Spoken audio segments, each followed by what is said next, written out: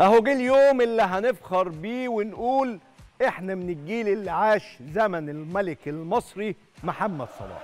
افخر وافرح وارفع راسك لفوق. النهارده زي امبارح وهيكون زي بكره ارقام ورا ارقام بتتكسر بين اقدام صلاح علشان تعيش معاه اجمل واعظم الأيام في كرة القدم.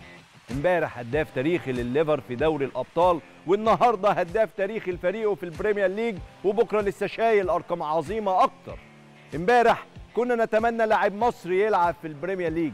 كنا نتمنى نشوف لاعب بيسجل هدف أو حتى يعمل assist أو حتى يشارك. والنهاردة عندنا صلاح. فخر العرب فخر مصر فخر العالم كله. هو مش بس أعظم لاعب في تاريخ مصر والعرب هو واحد من أعظم لاعبي العالم على مر التاريخ. شكرا صلاح. شكرا علشان خلتنا من الجيل ده اللي عاش معاك كل الإنجازات والأرقام دي ولسه. يا أهلا بحضراتكم حلقة جديدة من رقم عشرة. حلقة مبهجة. حلقة سعيدة. حلقة فيها فحر فرح. حلقة فيها فخر. حلقة فيها سعادة. حلقة فيها محمد صلاح. يا جماعة زي ما قلت كده في المقدمة إحنا محظوظين جدا جدا إن إحنا الجيل اللي عايشين محمد صلاح اللي عايشين إنجازات محمد صلاح اللي عايشين أسطورة الراجل ده. يا جماعة مش ممكن مش ممكن كل يوم رقم قياسي بيتكسر مش ممكن كل يوم رقم عظيم بيتعمل. يا جماعة اللي بيعمل ده اسمه الملك المصري محمد صلاح. المصري محمد صلاح.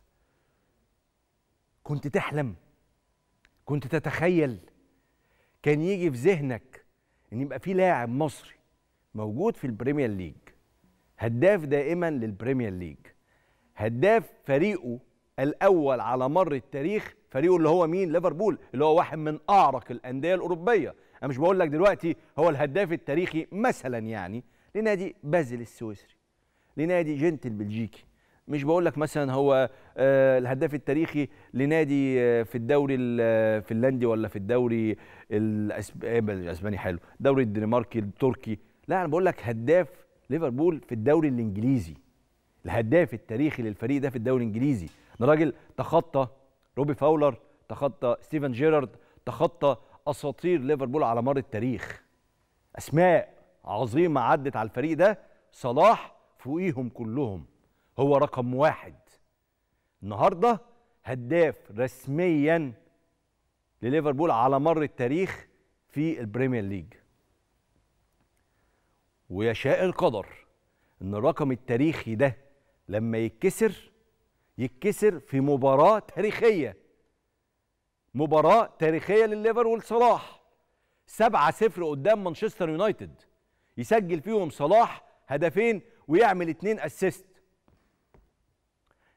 نموذج ملهم رائع. أنا عارف إن الكلام على صلاح خلص بس ما هي أرقامه مش بتخلص فطبيعة الحال مضطرين نكرر ونقول ونعيد. يا جماعة ده ملهم يا جماعة ده مثل. يا جماعة ده قدوة يا جماعة ده مفيش زيه يا جماعة ده أعظم لاعب في التاريخ. أكيد في تاريخ الكرة المصرية هو أعظم لاعب دي ما فيهاش جدال. في تاريخ الكرة الأفريقية هو أعظم لاعب في تاريخ الكرة العربية هو أعظم لاعب حتى في تاريخ الكرة العالمية على الأقل هيتحط في قائمة فيها عشرة لاعبين من بين الأعظم على مر التاريخ. في كده؟ ده لو اتقال مثلا النهارده هو 100 تخطى روبي فاولر بقى عنده 129 هدف. 129 هدف مع ليفربول في البريمير ليج. انت متخيل الرقم؟ انت متخيل بالمناسبة يعني. هو جاب ال 129 هدف دول في 205 مباراة. اللي تخطاه مين؟ هو تخطى مين؟ روبي فاولر. روبي فاولر بقى لما كان جايب 128 هدف كان جايبهم في كام مباراة؟ 266 مباراة. يعني محمد صلاح تخطى روبي فاولر منقوصا عن روبي فاولر ب 51 أو 61 مباراة. 61 مباراة فرق وجايب الرقم ده. في حلاوة كده في جمال كده. وبعدين من أيام ما كان بيلعب في فيرونتينا وإيس روما وهو بيلعب في الدوري الإيطالي ومتالق ومكسر الدنيا كنت تقول إيه؟ ده آخر موسم. صح مجربين مجربين. لعيبة مصريين كانوا بيروحوا يتألقوا نص موسم مش موسم كمان نص موسم وبعد كده بيختفوا. تقول إيه؟ ده آخره. خلاص خلصت ما عندوش تاني. راح تشيلسي الإنجليزي وكلنا قلنا لا لا لا. ما هو برضو اللاعب المصري ما يقدرش يلعب في البريمير ليج ما ما نجحش مع تشيلسي وما لا لا مش هو آخره الدوري الإيطالي ده بالكتير قوي مش هيقدر يدي أكتر من كده. يروح ليفربول يعمل موسم خرافي خرافي. يسجل 34 هدف في 38 مباراة وبالمناسبة ده رقم قياسي أيضا في البريمير ليج في تاريخ البريمير ليج. ما فيش لاعب سجل الهدف عدد الأهداف دي في 38 مباراة في تاريخ الدوري الإنجليزي. قلنا برضو إيه؟ دي حلاوة البدايات. هو بس إيه؟ منتشي. وفرحان بالدوري الإنجليزي وعايز يعوض اللي حصل في تشيلسي فجاب الأرقام العظيمة دي. الموسم اللي بعده هداف الموسم اللي بعده هداف الموسم اللي بعده بياخد دوري أبطال أوروبا. ما بيخلص. وتفضل تقول له ده آخرك؟ يقول لك لا. عارف أنت كده لما بتتضايق على حد ولا في حد بيتكلم معاك ولا مستكبر نفسه كده وحاسس إن هو جامد فتقول له ده آخرك؟ أهو ده صلاح. تقول له ده آخرك؟ يقول لك لا مش آخر لسه عندي تاني. ده آخرك؟ لا أنا أجمل من كده بكتير. ده آخرك؟ لا لا أنا معدي معدي كل الناس. آه محمد صلاح معدي الكل. محمد صلاح يا جماعة أسطورة مصرية مش بس في كرة القدم. ده نموذج تاريخي في تاريخ هذه الأمة وهذه البلد. الكل يتعلم منه الإرادة وإنه إزاي يرفع علم بلده إزاي يشرف بلده إزاي يبقى صورة عظيمة لبلده. إزاي؟ نموذج. نموذج أقرب للمثالية في الاحترافية. الفرقة بتاعته تبقى وحشة هو كويس. الفرقة بتاعته تبقى جامدة يبقى هو أجمد واحد. الفرقة بتاعته آه بتاخد بطولات ما يهبطش يفضل مكمل. مفيش مفيش بعد كده. جمال هندرسون النهارده تحدث عن ده. وقال إن محمد صلاح ما بيفكرش في حاجة غير كرة القدم. يورجن كلوب النهارده تصريحاته عن محمد صلاح مدهشة وقال حاجة مهمة جدا وقال حاجة مهمة جدا. قال لك إنه تقدير الناس تقدير الناس لمحمد صلاح دلوقتي هو تقدير كبير. بس محمد صلاح هياخد حقه أكتر في المستقبل. لما الناس تتذكر هذه الأرقام وتقعد تفكر هو إزاي قدر يكسر الأرقام دي كلها في الوقت القصير ده. العالم كله يتحدث عن محمد صلاح النهارده. ال account الرسمي الحساب الرسمي للبريمير ليج النهارده منزل أرقام محمد صلاح. اللي هو أكتر لاعب في تاريخ البريمير ليج بشكل عام يسجل بقدمه اليسرى. أكتر لاعب أفريقي يسجل في البريمير ليج أكتر لاعب في تاريخ ليفربول يسجل أهداف. أرقام أرقام عمالة تتكسر وعمالة تتوزع. أنت متخيل؟ عارف ليه بقول لك متخيل دي وأنا من جوايا قوي إحنا يا جماعة الجيل. أيام هنا على التلفزيون المصري لما كانت تذاع مباريات أوروبية وإحنا صغيرين ناس تحديدا اللي هم جيل الثمانينات اللي زي حالتنا واللي قبلنا طبعا. لما كانت بتتذاع مباريات على التلفزيون المصري وعلى قناة نايل تي في أنا فاكر كويس قوي الأيام دي. وبعد كده لما كانت بتتذاع في أي مكان آخر كنا نقعد نبص كده ونقول ياه!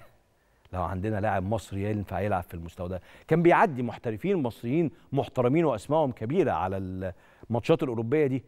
بس كنا بنتنشأ على لاعب يشارك لعدد دقائق معينة.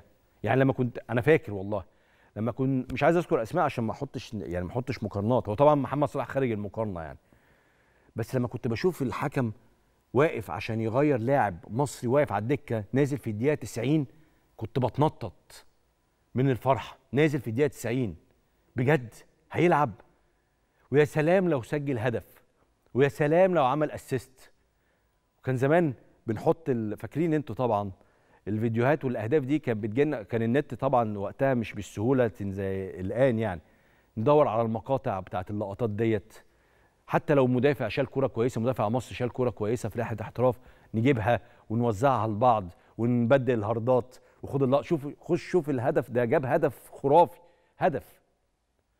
دلوقتي صلاح ما مش عارف تشبع معاه. خد أهداف خد أسيستات خد إنجازات خد أرقام خد فخر خد عزة خد كل حاجة. مدهش. أصل اللي بيحصل ده أكتر بكتير من إنه كان يجي في خيال أي حد مع كامل الاحترام.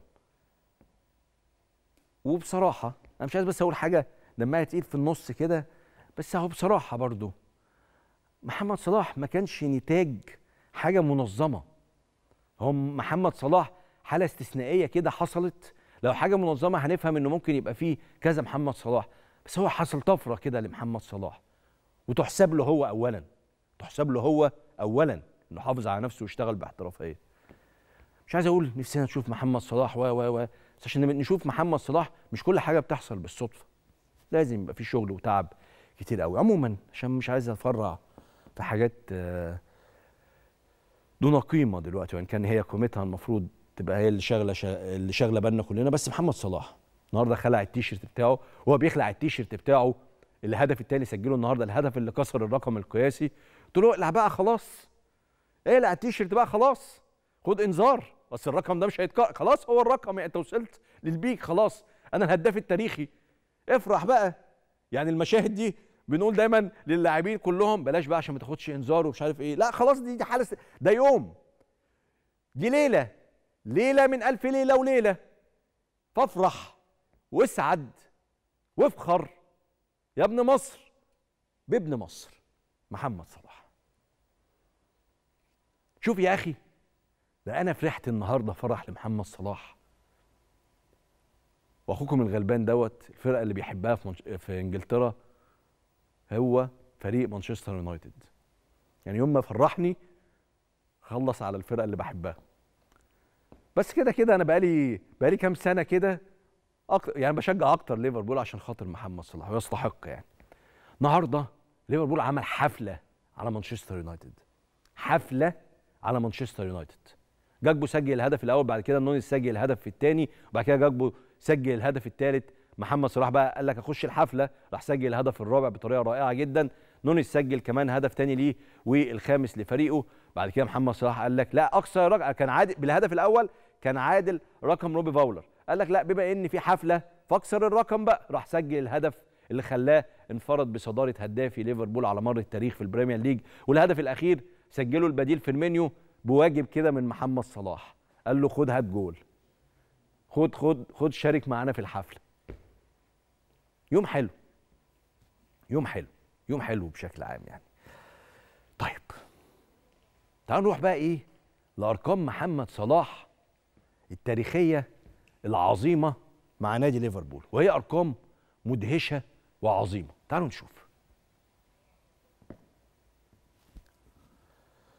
محمد صلاح أصبح الهداف التاريخي لنادي ليفربول في الدوري الإنجليزي الممتاز برصيد 129 هدفا خلال 205 مباراة متفوقا على روبي فاولر صاحب ال 128 هدفا خلال 266 لقاء. يا سيدي سيبوني أغني النهارده بقى. الهداف التاريخي لنادي ليفربول في دوري أبطال أوروبا برصيد 42 هدف خلال ست مواسم متفوقا على ستيفن جيرارد صاحب ال 41 هدفا خلال 14 موسم كما إنه أكثر من سجل بقميص ليفربول على ملعب أنفيلد في الشامبيونز ليج. ملعب ليفربول برصيد 19 هدف. قول كمان. الهداف التاريخي للعرب في الدوريات الأوروبية برصيد 175 هدف خلال 346 مباراة متفوقا على المغربي حسن أقصبي لاعب أندية نيم أولمبيك وستاد ريمس وموناكو الفرنسية ب 173 هدفا في 293 مباراة. اطربني يا جمالك. أصبح أول لاعب في تاريخ ليفربول يسجل في شباك مانشستر يونايتد لست مباريات على التوالي بمختلف البطولات كما أصبح اللاعب الثاني الذي يسجل عشرة أهداف في مرمى مانشستر يونايتد بعد الأسطورة أسطورة نيوكاسل ألان شيرر. ماشي.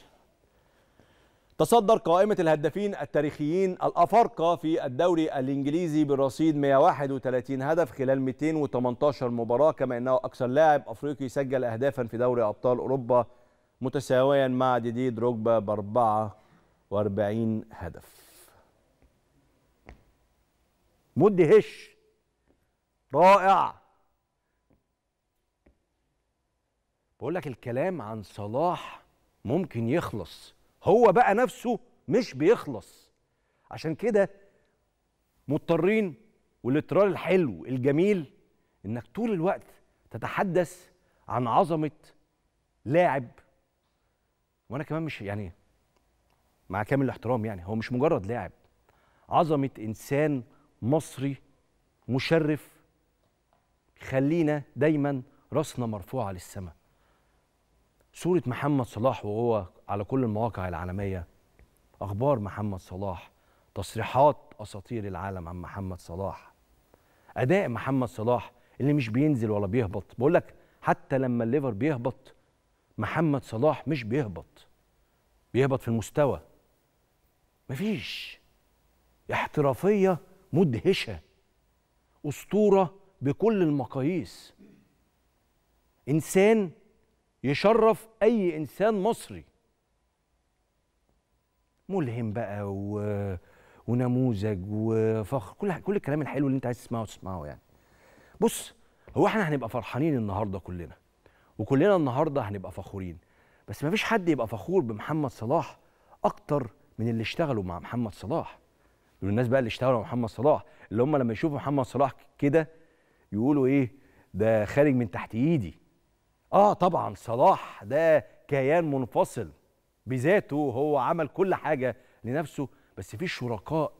شركاء ساعدوا ودعموا ومهدوا الطريق عشان يكون محمد صلاح في المكانة دي. وأكيد هم لو إحنا فخورين هم أكثر سعادة وأكثر فخرا واحد من هؤلاء. طبعا الكابتن الكبير كابتن ضياء السيد مدرب منتخب مصر الأسبق يا كابتن ضياء مشرف ومنور كالعادة.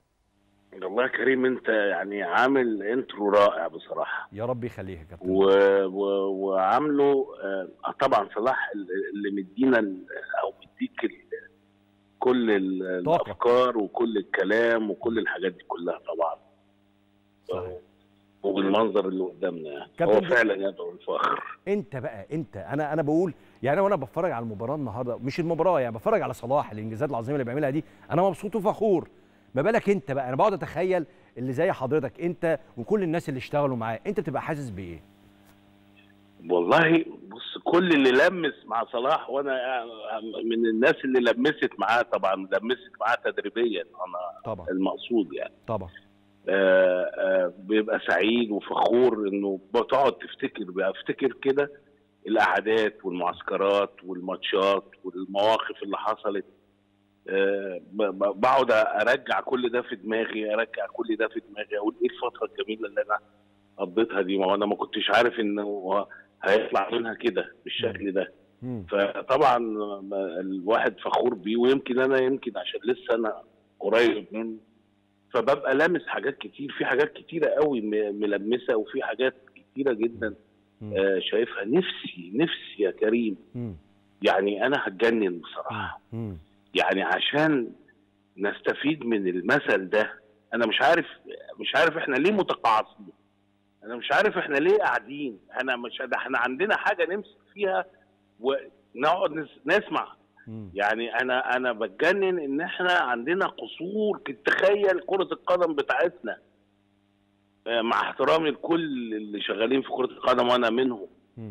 آه، آه، إحنا بنبقى حزنانين على حاجات كتيرة بتحصل في الكوره عندنا دلوقتي.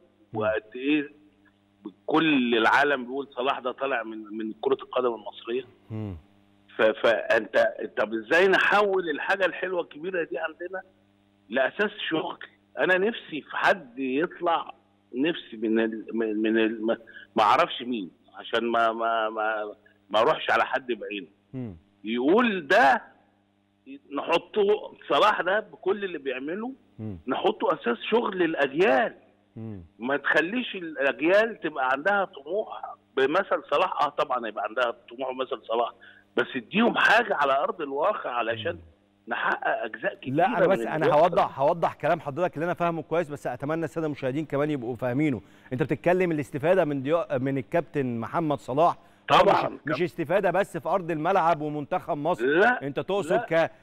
كنموذج كمؤسسة يعني محمد صلاح ده مؤسسة كمؤسسة. صلاح مؤسسة بتتحرك. مؤسسة يملأها الطموح صح. ويملأها العمل الجاد ويملأها الصبر مم. آه، مليانة كل الحاجات دي اللي هي أمثال لكل الشباب مش في كرة القدم بس في. كل ال- المجالات. إحنا عندنا ناس زي الورد في المج... مش عايز أنا نفسي بقى صلاح عمل كل الحاجات دي باجزاء مساعدة بسيطة جدا من خلال المدربين في انديته أو في المنتخب. لكن هو الجزء الأكبر يملكه هو إحنا عايز أنا عايز أعمم ده.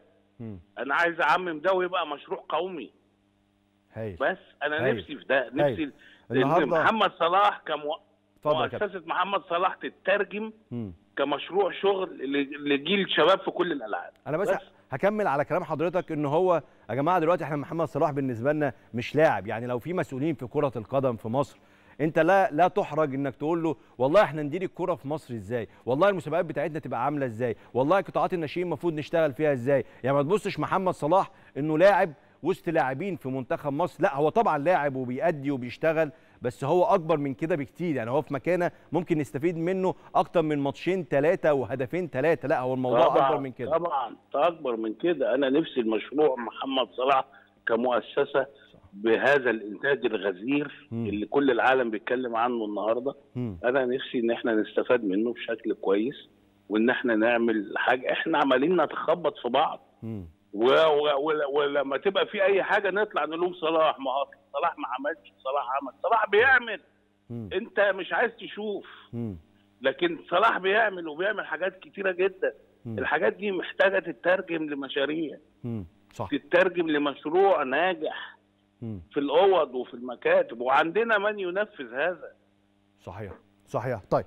أنا أنا الأول لازم أقول لك إن أنا سعيد جدا يا كابتن ضياء ان انت خدتنا في النقطة دي. أنا وأنا بفكر اتكلم معاك النهارده. عمال أنا أقول نفسي عمال أقول هسال كلكم تتكلموا في الحاجات دي والله. لا ده بالعكس ده هايل يا كابتن ضياء. بس دي نقطة مهمة أو زاوية مهمة جدا. أنا بقول لك وأنا بفكر النهاردة قلت هكلم الكابتن ضياء مثلا أقول له إيه يا كابتن ضياء هو محمد صلاح لعيب عظيم هو محمد صلاح لعيب جامد ما كله كلام خلاص هو مش محتاج نقوله يعني بس حضرتك ال- الزاوية اللي أنت خدتها دي هي زاوية في منتهى الأهمية في منتهى الأهمية ويا رب يكون حد مستمع جيد لهذه يا رب النصيحة يا رب يا أخي. النهارده هندرسون بعد المباراة قال أو أشاد هندرسون طبعا قائد ليفربول قال طبعاً. محمد صلاح هو بي- عظيم. بيكرس حياته كلها لكرة القدم ودي نقطة أصلا ممكن يتبني عليها كتير يا كابتن ضياء قال لك بيحضر أول واحد وبيمشي آخر واحد. امم أنت واخد بالك التمرين. أنت متخيل إنك تنتزع احترام و...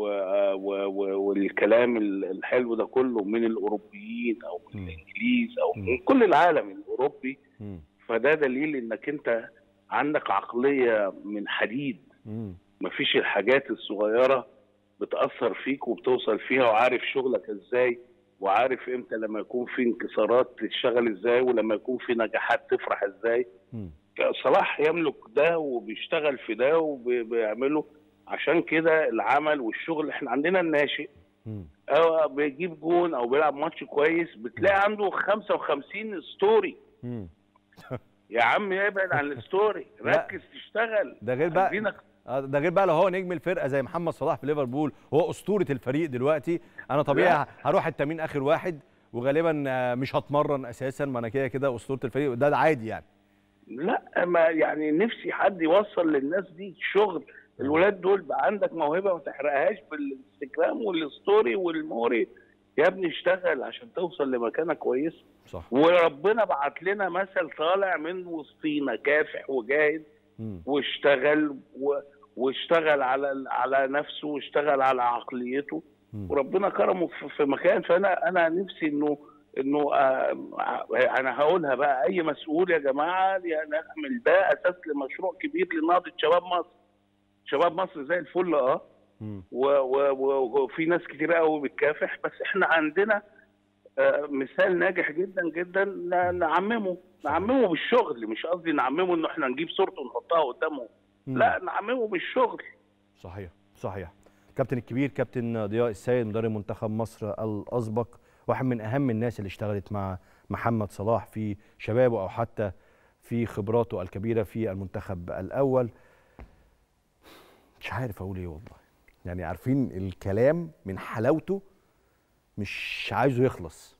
النهارده محمد صلاح بعد المباراة قال إن هو واحد من أسعد أيام حياتي. طبعا واحد من أسعد أيام حياته من أجمل أيام حياته. قال بعد ما وصلت لهذا الرقم القياسي مع ليفربول وأصبحت الهداف التاريخي للفريق في الدوري الإنجليزي وقال إن هو حطم رقم كان بيسعى من زمان إن هو يوصل له وقال إن هو بيتمنى في حصد الأرقام القياسية الكبيرة والبطولات مع ليفربول. وقال إنه بيتمنى إن الفوز على مانشستر يونايتد يساعد فريق ليفربول إنه ينهي الموسم في المراكز الأربعة الأولى. وقال إحنا ترجمنا الفرص بشكل جيد وكنا رائعين في الإنهاء أمام المرمى وده ساعدنا في تحقيق الفوز وكنا موفقين في معظم الفرص وقال إن هو كان يتمنى انه فيرمينيو النهارده يسجل هو وجوتا بعد ما نزلوا لكن فيرمينيو فقط هو من سجل والفريق بالكامل سعيد لجوتا وفيرمينيو اللي كانوا عائدين من فترة غياب.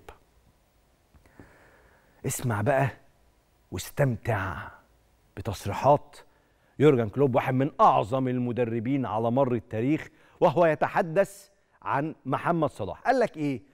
ده على لسان يورجن كلوب. قال لك 129 هدف مع نادي بحجم ليفربول ده شيء جنوني. وقال إن الرقم لا يصدق لمحمد صلاح وإنه لاعب استثنائي وإحنا نقدره جيدا ولكن ولكن في المستقبل هينظر الناس إلى مسيرة محمد صلاح ويتعجبون. وقتها هيحصل على التقدير أكبر بكثير من اللي بيحصل عليه دلوقتي. قال كمان إن إحنا دلوقتي بنشوف شيء مميز وشيء تاريخي يتحدث عن محمد صلاح. شكرا محمد صلاح. والله من القلب مش كلام منمق ولا كلام حلو. أنا بقول شكرا عشان النهارده أنا جاي فرحان. الناس فرحانة. الناس الشعب المصري فرحان الشعب العربي فرحان. جاي النهارده فخور كده وراسي مرفوعة. فرحان إن أنا مش جاي في بداية الحلقة بتكلم عن مشاكل ومين اتخانق ومين خسر ومين حكم صح ومين حكم غلط. في نموذج عظيم مصري زيه زيي زيه زيي معاه نفس الجنسية كان نفس الأكل وشرب نفس الشرب ومشي في نفس الشوارع العالم كله بينده باسمه. والله فرحان من جوه جوه قلبي وأنا متأكد إن ده شعور حضراتكم. متأكد يعني. في بس حاجة على الهامش بقى. هي في المباراة دي مباراة ليفربول ومانشستر يونايتد. بس على الهامش شوية وركز معايا فيها. إريك تنهاج المدير الفني ليه مانشستر يونايتد اللي عامل موسم خرافي مع مانشستر يونايتد موسم رائع. قبل طبعا كارثة اليوم بسباعيه أمام ليفربول. موسم رائع. أقصى ليفربول من الدوري الأوروبي فاز بكأس الرابطة الإنجليزية. كان قبل المباراة ديت كان قريب من المنافسة على لقب البريمير ليج حتى لو بعيد شوية بسيطة من أرسنال ومانشستر سيتي. ماشي بشكل كويس في كأس الاتحاد الإنجليزي. كل حاجة ماشية بشكل رائع جدا في مانشستر يونايتد مع تين هاج. والكلام إنه تين هاج هيعيد أمجاد مانشستر يونايتد. برضه باستثناء كارثة اليوم. فهو مدرب كبير ورائع. اسمع وتأمل. أنا كنت بتفرج عليها مباشر والله. في لحظتها ما قريتهاش. سمعتها بوداني. وعارف أنت اللي هو إيه؟ سمعت في وداني. المراسل لطيف يعني. عايز يسهل على تين خارج من المباراة شايل سبعة فعايز يسهل على تين شوية. قال له بس أنتوا كان عندكم الفترة اللي فاتت دي ضغط مباريات كاس الاتحاد وكاس الرابطة والدوري الأوروبي. بعد كده في مباراة مهمة في الدوري الإنجليزي أمام ليفربول. فأنا قلت إيه تين هاج هيمسك في دي؟ ويقول له أيوه هو كده بالظبط. إحنا خسرنا سبعة عشان الضغط والإرهاق. أنت لحقتني يا ابني والله. راح تين هاج قال له لا طبعا. مفيش الإرهاق ما كانش مأثر علينا النهارده ما كانش فيه ضغط ولا حاجة. وإنه اللعيبة النهارده كان في مشكلة في الأمور الذهنية والتركيز في الملعب وكان في أخطاء من اللاعبين وهو ده اللي خلانا النهارده نخسر المباراة. بجد. بجد والله. يعني هو في حد ممكن يخسر سبعة؟ وما يقولش أصل في حكم وأصل في اتحاد وأصل في ضغط مباريات. هو في حد بيعمل كده يا جماعة؟ بتخسر سبعة؟ أنتوا فاهمين العقلية رايحة لفين؟ انت عارف إحنا اللي, عندنا بيخسر بجول بيعمل إيه؟ اللي بيخسر بجول مش بسبعة بيعمل إيه؟ كل العالم يتآمر وكل العالم سيء عشان خسر بهدف. ده خسر سبعة وما طلعش قال مبررات هاوية بره فريقه. أي نعم هو حمل اللاعبين وبعد شوية عن المسؤولية ودي أخدها عليه شوية عشان هو النهاردة كان له أخطاء. بس اتكلم على فريقه. ما اتكلمش عن ظروف خارجية. احسبها بقى زي ما تحسبها. احسبها زي ما تحسبها. عشان كل مرة وأنا بقف هنا بقول إنه الفريق الكبير الفريق الكبير لا يتحدث عن ضغط. ده أدرك. يعني مانشستر يونايتد ده بيلعب فين؟ بيلعب في الأوروبا ليج وبيلعب في كأس الاتحاد ولسه مخلص كأس رابطة الأندية وبيلعب في الدوري أربع بطولات تحديدا كل ثلاث أيام ماتش فعليا يعني. ولا ولا نفس القصة بقى مانشستر سيتي نفس القصة ريال مدريد نفس القصة برشلونة. انت فريق كبير فريق كبير ما بيتكلمش عن ظروف خارجية يتحدث عن أخطائه. مانشستر يونايتد اللي عامل أداء رائع جدا طول الموسم النهارده عمل أداء كارثي. كارثي. ما يقولكش بقى إيه أصل الناس بتحبني فأكيد أنا ما بغلطش فيبقى في حاجات خارجية. لا هو فريق اللي كان مش كويس النهارده وخسرنا المباراة بسبع أهداف خلصت. سهلة. بالمناسبة بقى دي قصة تانية خالص. تفتكر واقعد برضه اسرح بخيالك شوية. لو فريق كبير في مصر خسر من فريق كبير في مصر أهلي أو زمالك يعني أيهما يعني التاني اللي يكسب التاني عشان هم دول أكبر فريقين. إحنا النهارده بنتكلم نفس ال level في إنجلترا النهارده ليفربول ومانشستر يونايتد. تفتكر لو فرقة من دول خسرت من المنافس بتاعها 7-0 المدرب كان هيكمل نص ساعة كمان؟ مستحيل. مستحيل. تين هاج مكمل مع مانشستر يونايتد ومشروعه وعقده وكل حاجة. ولا حد ولا حد بعد المباراة قال لك هل تين هاج يرحل؟ ولا مثلا المراسل قال له هل ستستقيل بعد هذه النتيجة الكبيرة؟ ولا الهوى مباراة بظروفها وخلصت. بس. شوف الدنيا سهلة إزاي. دروس يعني. أهي دروس تستفيد منها. طب ده درس. خدناه من مانشستر يونايتد. تعالى اديك درس بسرعة مش أنا اللي اديك يعني هم اللي بيدونا. اديك درس بقى اداهولنا النهارده ليفربول من ناحية تانية. فريق حاله حال الموسم ده. مركز متأخر في الدوري الإنجليزي خسائر متتالية مشاكل في دوري الأبطال مشاكل في كأس الاتحاد مشاكل في كأس الرابطة نتائج على مستوى النتائج. كل حاجة سيئة في ليفربول السنة دي. كل حاجة. كل حاجة. هل مثلا إدارة نادي ليفربول قالت لا إحنا لازم نمشي يورجن كلوب في نص الموسم ونجيب مدرب تاني. هل طلعت الإدارة وقالت أنا هوقف لاعبين؟ هل طلعت الإدارة وقالت إحنا في لعيبة عندنا مش بتلعب برجولة وبأداء جيد؟ هل الجماهير شتمت الجهاز الفني واللاعبين؟ هل أي حاجة حصلت والفريق بيقدم مستوى متدني كثيرا عن مستوى الموسم اللي فات اللي كان رائع جدا لليفربول؟ لا. حالة بيتعرض لها أي فريق مرحلة وهتخلص. فالفريق اللي بيعاني ده كله عشان واخد الدعم من الجميع محدش عنده مشكلة مفيش أزمة. الخسائر ما عملتش كوارث في النادي. الفريق النهارده بيكسب سبعة. الفريق اللي بيعاني ده كله كسب سبعة. كسب سبعة مين؟ مانشستر يونايتد.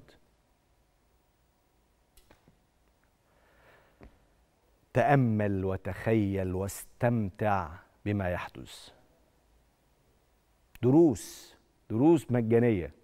كلها دروس حلوة يعني. طيب. نجم مصري في أمريكا اسمه اسلام عبد المعين هو لاعب منتخب مصر لألعاب القوى بمناسبة محمد صلاح يعني والأسماء العظيمة المصرية العظيمة. ده حقق الميدالية الذهبية في بطولة العالم اسمها أرنولد كلاسيك للمصارعة الأمريكية. كانت البطولة بتتلعب في أمريكا. اسلام معايا الآن عبر سكايب عشان نبارك له ونهنيه ونقول له برضه انت مصري عظيم بتشرفنا. اسلام مساء الفل مشرف ومنور وألف مليون مبروك هذا الإنجاز العظيم. الله يبارك فيك يا أستاذ كريم وألف مبروك للشعب المصري العظيم كله. وبشكر أسرة البرنامج رقم 10 و... واشكر الشعب المصري كله على وقفته معانا ودعمه للرياضيين خارج مصر. ده نتشرف جدا يا اسلام وأنت اللي شرفتنا ورفعت راسنا. في البداية كده عايزك تقول لنا الأول إيه هي البطولة ديت؟ فاهم؟ السادة المشاهدين والجماهير المصرية أكتر هذا الإنجاز العظيم إزاي وصلت له؟ آه، طبعا آه، أنا محقق الميدالية الذهبية في بطولة مستر أولمبيا 2022 للقوة البدنية. فطبعا البطولة أرنولد كلاسيك دي تعتبر من أقوى البطولات المحترفين اللي بتتلعب من سنة 89 تمام؟ فتأهلي ليها اللي أنا بطل مستر أولمبيا في القوه البدنية. فدي المرحلة الثانية بتبقى مرحلة المصارعة الأمريكية. mas wrestling. نفس التمرينات بتاعت ال body building والقوه البدنية بس هي بتحتاج آه، مجهود وتكنيك أكتر غير اللي أنت بتشيل وزن. لا أنت بتشيل الوزن اللي قدامك مع قوة اللي قدامك. مم. صعبة جدا دي. بمعنى اللي هي دي تعتبر دي تاني مرحلة لل- لل strong man يعني آه. آخر حاجة مرحلة ال strong man أقوى رجل في العالم. مم. فهي بتبقى مراحل حضرتك بتمشي عليها خطوات. فهي بتبقى قوة بدنية وبعد كده مصارعة أمريكية وبعد كده strong man أنا عرفت إن أنت لعبت أبطال كتير في هذه البطولة. ابطال قريت شوية حاجات كده وأسماء عظيمة بس برضو كررها للسادة المشاهدين عشان اللي متابعين اللعبة كمان يبقى يعرفوا أنت تخطيت مين يعني.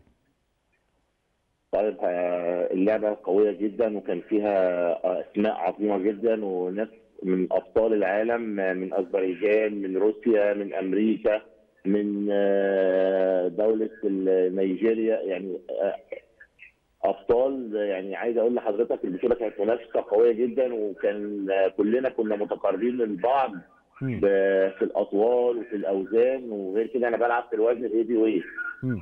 فالوزن اللي بيبقى فوق ال 140 كيلو ده يعني ممكن تلاقي 170 180 كيلو براحتك يعني ال 140 وأنت طالع. طيب أنت إزاي بقى وصلت للمرحلة ديت؟ يعني البدايات كانت إيه؟ اشتغلت إزاي عشان توصل لهذه المرحلة العظيمة؟ عرف الناس أكتر إزاي وصلت للمرحلة الكبيرة دي.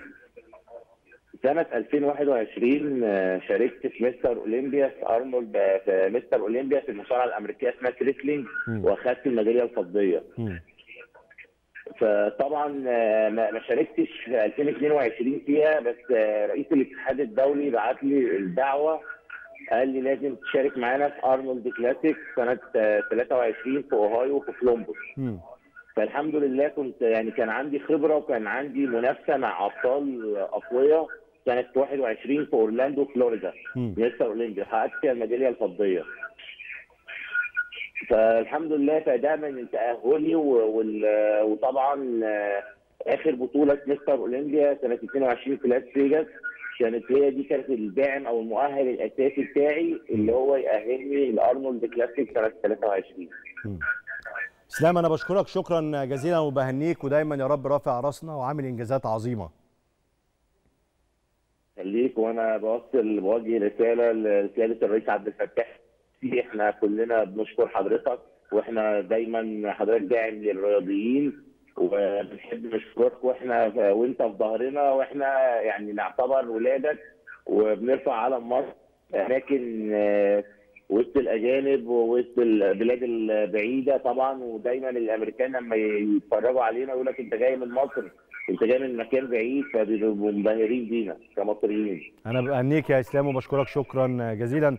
إسلام عبد المعين لاعب منتخب مصر لألعاب القوة وإنجازات عظيمة جدا بعد ما حقق الميدالية الذهبية في بطولة مهمة جدا في أمريكا. طيب اتحاد الكرة أعلن اليوم رسميا تعاقده مع البرتغالي فيتور بريرا لرئاسة لجنة الحكام المصرية وهو الخبر اللي انفرد به رقم 10 منذ عدة أيام عقد الرجل البرتغالي لرئيس لجنة الحكام الجديد هيكون حتى 2023 2024 وزي ما قلنا امبارح في رقم 10 إن العقد هيكون موسم ونصف مقابل 18000 دولار شهريا وإن بيريرا هتكون إقامته معظم الوقت في مصر لمتابعة عمل اللجنة عشان ما يبقاش زي كلاتنبرج ونتمنى يكون أحسن. طيب مين هو بقى فيتور بيريرا رئيس لجنة الحكام الجديد؟ هو من مواليد عام 1957 عنده 65 سنة وخاض مسيرته التحكيمية في الفترة ما بين 1989 حتى 2002 قبل أن يعلن اعتزاله دوليا. طيب ما هو ده اللي كنت لسه قايله يا جماعة ماشي عشان ما نعيدش تاني.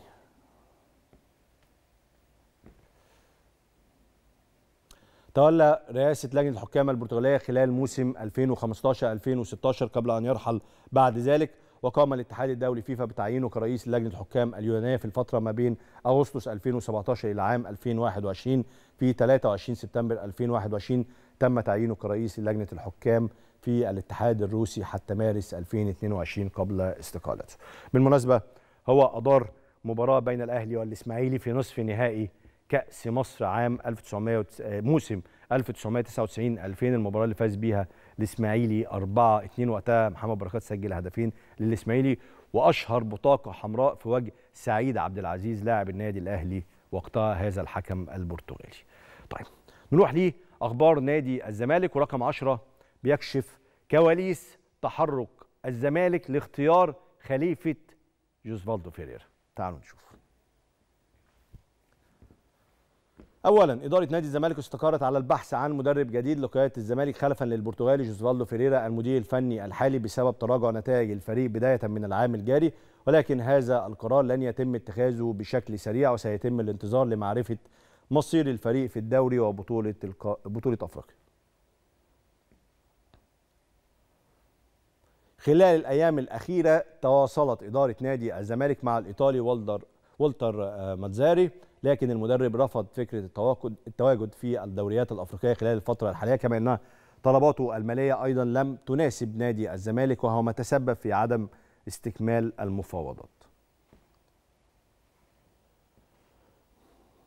ثالثا بعد فشل التفاوض مع متزاري قرر نادي الزمالك التوجه إلى المدرسة الفرنسية لكن لم يتم الاستقرار على اسم معين للتفاوض معه وطلبت الإدارة من بعض الوكلاء ترشيح أسماء مدربين فرنسيين خلال الأيام الحالية ولكن الإدارة ليس لديها النية حتى الآن في استعادة الفرنسي باتريس كارتيرون.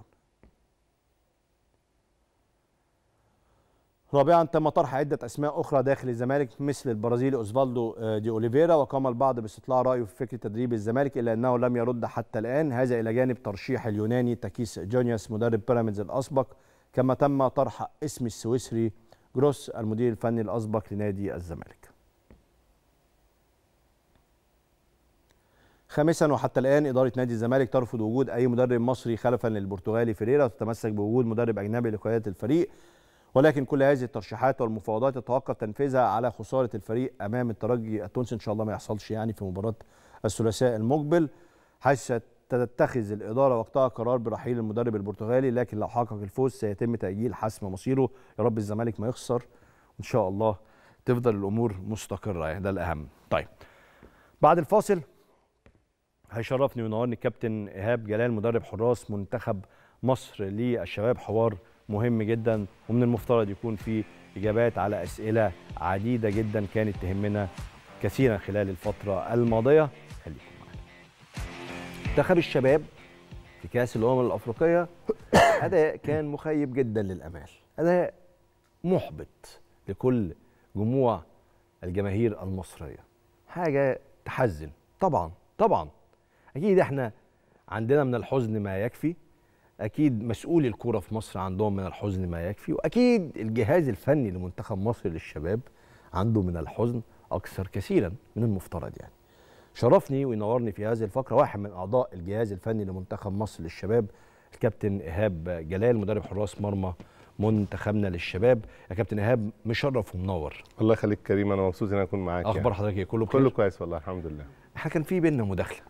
بس آه. هنكرر فيها بعض الأسئلة اللي شغلت الناس بعد الخسارة الكبيرة. السؤال الأول السهل. إحنا ليه ظهرنا بالشكل ده؟ بص يا كريم أنا هقول بس أنا بتأسف طبعا للشعب المصري. والمصر كلها طبعا على خيبة الأمل اللي حصلت. آه ما كانش متوقع. للأمانة ما كانش متوقع. إحنا عملنا البطولة العربية هايل جدا بنفس اللعيبة تقريبا. كان في آه الاولاد كلها كان قلبها على قلب بعض. آه كان مركزين جدا جدا جدا. كان كل الأجواء مهيئة إن أنت تعمل بطولة كويسة وده اللي حصل فعلا. لولا ضربات الجزاء مع المنتخب السعودي الهايل جدا طبعا. آه كنا ممكن ناخد البطولة يعني. جينا بطولة أفريقيا. طبعا في فرق بين البطولة العربية والبطولة الأفريقية. طبعا من حيث القوة من حيث ال- القوة البدنية بتاعت اللعيبة الأفارقة. طبعا لعيبة على مستوى عالي جدا. أعتقد يعني أنا اللي شايفه أو اللي أنا حسيته إن اللعيبة دخلت في الأجواء متأخرة. يعني دخلت في الأجواء متأخرة. وأنت لما بتدخل متأخر بتبعد كتير. فطبعا ماتش موزمبيق إحنا بدأنا بيه آه كان في المتناول جدا. يعني كنا عاملين حسابنا إن إحنا نكسب الم... نكسب موزمبيق. آه تتعادل مع نيجيريا تتعادل مع السنغال أنت وصلت. وكان الهدف الأولاني إنك توصل والهدف ال- الأولاني خالص إنك تروح كأس عالم. وتلعب على البطولة دي جت أو ما جاتش ده كان بعد كده ممكن نحسب لها يعني. إنما آه اللي أنا شفته من من جميع أعضاء الجهاز الفني بالإداري بالطبي بكل حاجة بأعضاء مجلس إدارة الاتحاد برئيس الاتحاد كل الناس بصراحة كانت مركزة جدا وكانت يعني بكل ما يملكه بيساعده. يعني لو أنا أشوف مثلا آه، الجهاز الطبي آه، المدلك بتاعنا أحمد ممدوح كان كان يدلك اللعيبة لغاية الساعة 11 بالليل واللي عايز حاجة ويعدي عليهم في الأوض. الكابتن ناصر هريدي آه، بتاع التأهيل آه، كان آه، من الساعة 9 الصبح مع اللعيب المصاب أو عشان يجهزوا للمباراة. اللواء عبد الجليل المدير الإداري أو رئيس مدير مدير ال- الفريق. راجل آه، لواء كبير كان يروح ويجي عشان يسهل كل المأموريات للعيبة وللجهاز وللناس دي كلها. حتى الجهاز الفني كان مركز جدا في التدريب وفي الأوتيل وفي كل حاجة. يعني لك أن تتخيل إن كل المنظومة كل المنظومة مركزة. ال- والعامل الوحيد اللي هو يقدر ينزل لك الملعب وي وي وي وي ويجيب لك النتيجة أعتقد في كتير جدا من اللعيبة ما كانتش مركزة. وده إحنا إحنا سهلنا ليه لكل حاجة لل- للعيبة الأوتيل المكان ال- ال- الملاعب. أعضاء مجلس الاداره كان أستاذ جمال علام على طول معانا اللي هو مشهور كان معانا. المشكلة كانت في اللعيبة؟ آه لأن المشكلة الأكبر أنا- المشكلة آه. الأكبر. أنا أنا أنا همشي معاك واحدة واحدة النهارده. أنا عايز بصراحة يعني نقول للسادة المشاهدين والجماهير المصرية أنا بتكلم مع الجماهير المصرية دلوقتي حاجات واضحة بقى إنه كان المشكلة في اللعيبة. مثلا خلاص أنا خدت هنا إجابة مش هرجع لها تاني. هل المشكلة كانت في اللاعبين؟ المشكلة مش في كل اللاعبين. في لعيبة كانت مركزة جدا وفي. لعيبة كانت مش مش مش مش آه، عايز أقول ان هي ما كانتش آه، آه، على قدر الحدث؟ على قدر الحدث برافو عليك. مم. يعني القدر الحدث الحدث رهيب جدا. وأنا كنت بقعد مع اللعيبه أقول لهم يا جماعة أمم إفريقيا دي للشباب زي أمم إفريقيا للكبار.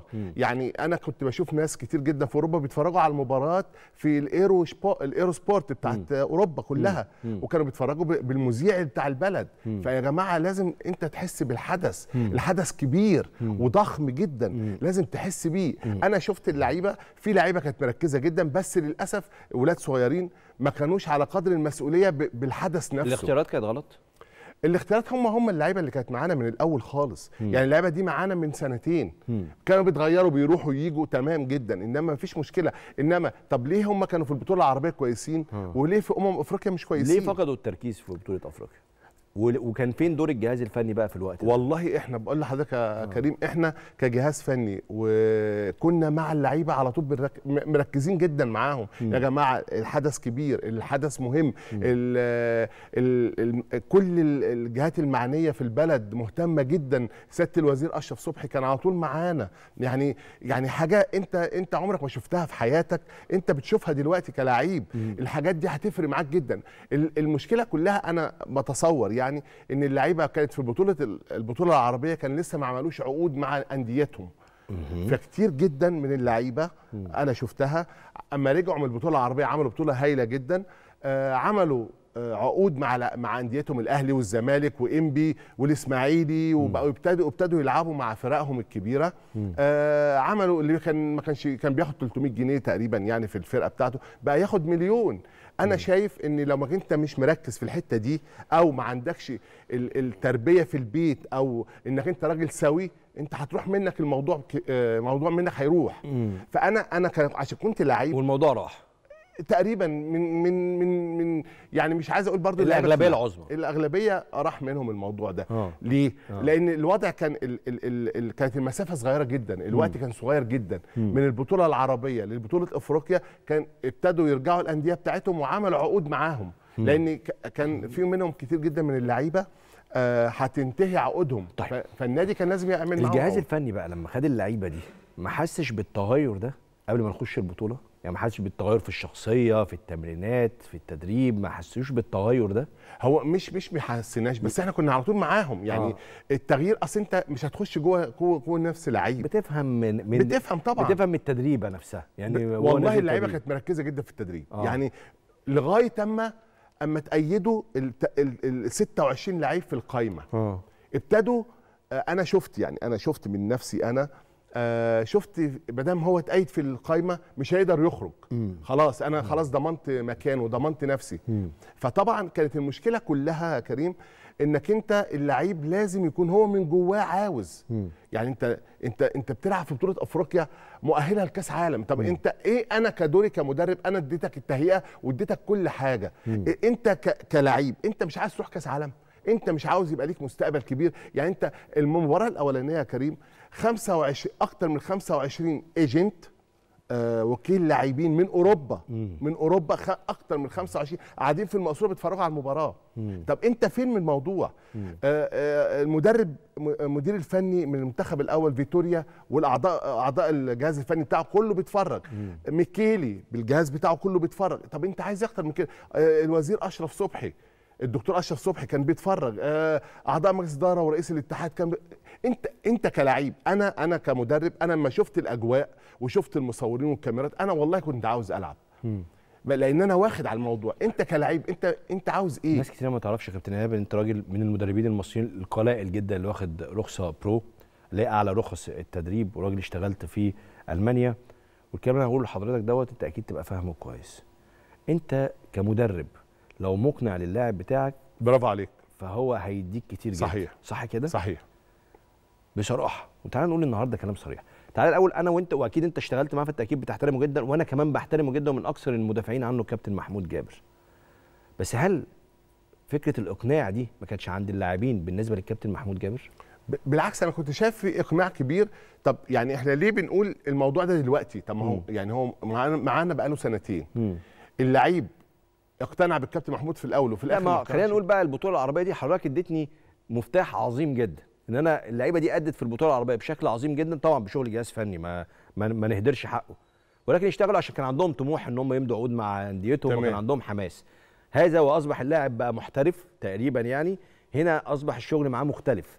فالشغل ده محتاج إقناع كبير جدا من المدرب للاعب والعكس. واضح إنه ده ما كانش موجود. بص يا كريم أنا عايز أقول لك حاجة. اتفضل. أنا آه أنا شايف إن ال- ال- الجهاز الفني آه كويس. أنا من وجهة نظري إن دول زمايلي زمايلي. إنما أنت كلاعب أنت مقتنع باللعيب بالمدرب بتاعك أو مش مقتنع أنا مش هقدر أخش جواك. ما أنا ممكن تقول لي آه كابتن أنا أنا بحترمك وبحبك وبتاع. وهو من ورا حاجة تانية. أنا ماليش دعوة باللي بره. آه. الحالة اللي كانت موجودة في أرض الملعب يا كابتن أنا بحاول أتكلم بصوت الجماهير لا تمام تمام. الناس بتتفرج عليها. أنا مقتنع جدا آه. بالكلام. أنا لما. كلاعب أنا شايفه في أرض الملعب لا مهتم ولا عنده جدية. صحيح. ولا ولا متصور إن الكابتن محمود اللي كان واقف على الخط طول الوقت دوت كان مقنع حتى في زيه أو كلامه للاعبين. واللعيبة ما بتنفذش تعليمات وفي أخطاء ساذجة جدا. هنا أوصل أو أفسر إنه اللعيبة ديت مش مقتنعة بال... يعني الجهاز الفني ده بيقول حاجات وبيشتغل حاجات واللعيبة ما ممكن. صح؟ ممكن صح. كلام حضرتك مظبوط جدا. بس أنا ما أقدرش أجزم بحاجة زي كده. يعني مم. أنا ما أقدرش أجزم إن الموضوع ده فعلا طالع نابع من اللعيبة. مم. يعني اللي أنا شايفه إن الراجل بيتكلم معاهم بيحترموه وبي- وبيحترموا الجهاز كله ما فيش أي مشكلة. ده اللي أنا شايفه. إنما تنزل بارض الملعب هي دي المشكلة. يعني هي دي مشكلتك لأنك أنت بتبقى بعيد عن الجهاز الفني. يعني في غالب في أغلبية المباريات يا كريم كنت بتكلم مع الجهاز الفني. اللعيبة لما بتلعب في الوسط الملعب بتاعنا قريب لينا ونقول لهم على حاجة بيعملوها كويس جدا. لما بيروحوا للنص التاني بعيد عننا كل واحد في موال تاني خالص وبيعمل اللي هو عايز يعمله. وده آه، المفروض ما يحصلش. يعني المفروض ما يحصلش. وعلى طول كنت أقول لجماعة زمايلي الجهاز الفني يا جماعة خلي بالكم لأن اللعيبة دي لما بتروح الناحية التانية بعيد عننا كل واحد بيعمل اللي على مزاجه. صحيح. يعني دي برضو نابعه من اللعيب مش من الجهاز. انت كلاعب انت فين؟ انت م. فين هويتك؟ انت م. فين مكانك؟ انت فين شخصيتك؟ م. دي مهمة جدا. ما انت ما تعمليش شخصية عشان المدرب يكلمك ده ما ينفعش. انت من نفسك و... ومن ضميرك أو من لعيبتك أو انت عاوز تبقى فين. يعني أنا كنت بتفرج آه، بره الكواليس على ما بتتكلم على محمد صلاح. شوف المنظر عامل إزاي. شوف عضلات محمد صلاح شكله جسمه عامل إزاي. هو ده محمد صلاح هو ده اللي عايز يكمل. انما انت في لعيب أقول له يا جماعة اشتغل على نفسك خش الجيم خش. أنا كنت مع الحراس بتاع حراس المرمى بتوعي كنت أقول لهم كل يوم تنزل الجيم. كل يوم تنزل الجيم. فشوف المنظر عامل إزاي. ما شاء الله حاجة رهيبة جدا. وده مش المنظر ده كانوا بيقولوه لنا الناس اللي شغالة يعني مدير المهمات بتاعنا علاء علاء سعيد. كان بيقول لي كان محمد صلاح يجي يحط الشنطة وينزل على الجيم على طول. هو ده اللي عايز يبقى رقم واحد في إنجلترا ورقم واحد في العالم ورقم واحد في مصر. هو ده ده المنظر. ده المنظر اللي إحنا عايزين نش- نقول للعيب بتاعك إنك أنت لازم تشتغل على نفسك. أنا في لعيبة بقى لها سنتين معانا لغاية النهارده ما لهمش ما فيش عضلة في جسمه. مع احترامي. آه. موجودين. ولازم تشتغل على نفسك ما بيشتغلش. إحنا نعمل إيه؟ وده يمكن انت احسن يعني اللي إحنا اخترناهم دول من أحسن الناس موجودة في, في سنهم. أنا مش عايز أجزم إن دول أحسن ناس. في ناس أكيد برضو كويسين. بس أحسن الناس دول أحسن الناس اللي موجودين في منتخب الشباب. بصراحة يا كابتن إيهاب وأنا لا أتحدث هنا إن أنت كان دول زمايلك أو كنت بتشتغل معاهم الفترة الماضية. أنا بقول راجل مدرب كبير بيتكلم على مستقبل الكرة المصرية. اللاعبين دول يفيدوا الكرة المصرية في المستقبل؟ المفروض يفيدوهم. المفروض يفيدوهم بس بالمنظر اللي إحنا شفناه ده هيبقى الموضوع صعب شوية. آه. الموضوع صعب. في منهم يعني لعيبة ممكن تكمل. يعني في منهم لعيبة ممكن تكمل. كم واحد؟ من بصراحة. من من دول كلهم آه. ممكن ثلاث أربع لعيبة. مم، بالكتير. بالكتير. عشان حسيت برضه إن أنت عايز يعني بتقول رقم كبير. لا أنا تلاتة أنا أربعة اللي أنا. شفته اللي أنا شفت الناس المركزة الناس اللي عايزة تبقى حاجة الناس اللي, اللي بعد المباراة بقى قعدت تعيط مش مش آه تمثيل. بيعيطوا بحرقة لأن هم كانوا نفسهم يكملوا. في ناس منهم أكيد لعيبة كويسة أكيد منهم ناس تكمل بس أنا قلت لهم قبل كده قلنا لهم كجهاز فني يا جماعة لازم تركز عشان أنت والراجل فيتوريا جه واتكلم معاهم قال لهم أنتوا لما هتوصلوا كاس عالم 26 هيكون عندك 23 سنة 24 سنة. يعني أنت اللي هتلعب معانا أنت اللي هتلعب في كأس العالم ده. أنت أنت فين من نفسك؟ أنت أنت أنت كلاعب. انت انت بتفكر في إيه؟ يعني بتفكر في إيه؟ انت لازم تركز طول حياتك إن في, في الوقت ده إنك انت توصل كأس عالم وتلعب على بطولة أمم أفريقيا. أنا حاسس بإحباط. أنت محبط. يعني طبعا إحنا محبط. لأني ما كنتش بس متوقع. محبط من الجيل اللي كان شغال معاك دوت. يعني أنا مش محبط- متوقع إن هم يبقوا كده. أنا أنا فضلت قاعد بعد البطولة في البيت أربع أيام ما بخرجش. يعني لاني وعندي صداع رهيب جدا وأول مرة أخرج عشان أجي لك. حبيبي يا رب والله يخليك. العظيم لأنك أنت من الكويسة رب جدا محترم ده شرف محترم. كبير لينا. والله بجد. ليه في حراسة المرمى شفنا مصطفى مخلوف فجأة رغم إن أحمد نادر كان متألق في البطولة العربية ومن أحسن الحراس في البطولة ليه فجأة مصطفى مخلوف مش أحمد نادر؟ هو مش ال... مش فجأة. آه. مصطفى مخلوف معايا من سنتين. هو معاك. أنا بتكلم على حارس ما أنا. هقول لحضرتك أنا هجيبها لك بس من الأول. آه. مصطفى مخلوف أنا جايبه من الترسانه آه. ومحدش يعرف الكلام ده. أنا الوحيد اللي جبته. مم. كلمني الكابتن حسن علي. آه ربنا يديله الصحة من الشخصيات الجميلة جدا اللي أنا بحبها وبحترمها. كلمني وقال لي عندي جول كويس قوي رحت اتفرجت عليه لقيته فعلا كويس. من أول لما ابتدينا. ناخد اللعيب. الولد شخصية هايلة جدا محترم جدا جول كويس جدا. و... وأنا برضو ما حدش برضو يعرف الكلام ده. أنا السبب اللي خليته يروح النادي الأهلي. لأن النادي الاهلي آه. لأن النادي الأهلي كان عايزينه وفي نادي ترسانة ما كانوش عايزينه. أنا رحت قعدت مع الكابتن شاكر عبد الفتاح قلت له يا كابتن شاكر آه، ودي الولد النادي الأهلي. مم. وفعلا أنا كان الحمد لله بعد ربنا أنا ليا إن أنا أوديه النادي الأهلي. عظيم. آه ولد كويس جدا من ساعتها بيتمرن في الدرجة الأولى بيحبوه جدا ولد هايل جدا. آه ما كانش معانا في البطولة العربية. امم ما كانش معانا في البطولة العربية. كانش معاكوا ليه؟ آه ما أعرفش ما, ما, ما اخترناهوش أو آه. أو هو كان مع النادي الأهلي في كأس العالم. يعني أنا مش آه. فاكر بالظبط ألو... الوقت إيه يعني ما كانش معانا. مم. إنما الولد آه، بيتطور بشكل كبير جدا. أحمد نادر بيتطور بشكل كبير جدا. كريم نبيل كان معانا برضو بيتطور وخليفة من نادي بتروجيت. والأربعة بيتمرنوا في الدرجة أو نادر بي- بيلعب بره والأربعة أو الثلاثه التانيين بيلعبوا حلو. في الدرجة الأولى في آه، في أنديتهم. حلو. فلعيبة كويسة جدا. إنما آه، نادر السيد لما جالي كان عنده مشكلة في ظهره. والدكتور قال لي عنده مشكلة في ظهره. طيب. المباريات دي محتاجة الواحد يكون فت 100% فت 100% لأنك أنت هتلاعب لعيبة أقوياء جدا مم. أقوياء جدا بدرجة كبيرة. فطبعا نادر وعلى فكرة نادر كان ممكن يلعب. ما عنديش أي مشكلة. بس طبعا أنا ممكن يعني أنا على فكرة برضه يا كريم أنا عندي قناعة كده الثلاث حراس اللي معايا أو الأربعة اللي معايا أي حد فيهم يلعب. ماشي. يعني حتى لما جه الكابتن محمود قال لي مين يلعب؟ قلت له كذا. قال لي طب نلعب كذا. خلاص. آه يعني انت قلت أحمد نادر فقالك نائب مصطفى. نلعب مصطفى مفيش طيب مشكلة. فاختيار مصطفى مخلوف ده كان اختيار الكابتن محمود جابر. و... ما هو برضو أنا لو قلت له لأ آه يبقى أنت أنا قلت عندك لأ، يبقى أنت عندك حارس في أقل من في. خلل. صح. بالظبط كده. بس إن- انت بس انت كان رغبتك أحمد نادر عشان لعب في البطولة العربية. هو هو مش رغبتي بالظبط يعني الاثنين كويسين. فاهم. يعني حتى لما جه يكلمني آه. قلت له يا كابتن محمود الاثنين كويسين. آه. شوف انت عاوز إيه وأنا معاك. تمام. بس انت كنت مايل لمين؟ مش مايل لحد. والله الاتنين حتى واحد. حتى حتى طيب. في يوم المباراة آه. قبل المباراة بيوم ما كناش برضه نعرف مين. طب ليه أحمد نادر زعل قوي كده؟ هو زعل لأنه كان آه، في اعتقاده إن هو آه، اللي هو اللي هيلعب. بس ما حدش من الجهاز قال له أنت هتلعب. مم. ولا قال لمصطفى مخلوف أنت هتلعب. ولا قال لأي حد أنت إنك هتلعب. فاهمني حضرتك؟ فالمشكلة كلها هو زعل لأنه متوقع هو متوقع إن هو هيلعب.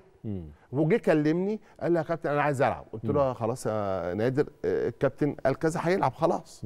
ما فيش مشكلة خالص. مم. أنت فاهمني؟ فقال لي لا أنا أنا مستني وبقالي سنتين. قلت له طب يعني أنت مستني بقالك سنتين؟ ما هو برضه نفس الولد برضه التاني هيقول لك نفس الكلام. مم. يعني كلنا في مركب واحد.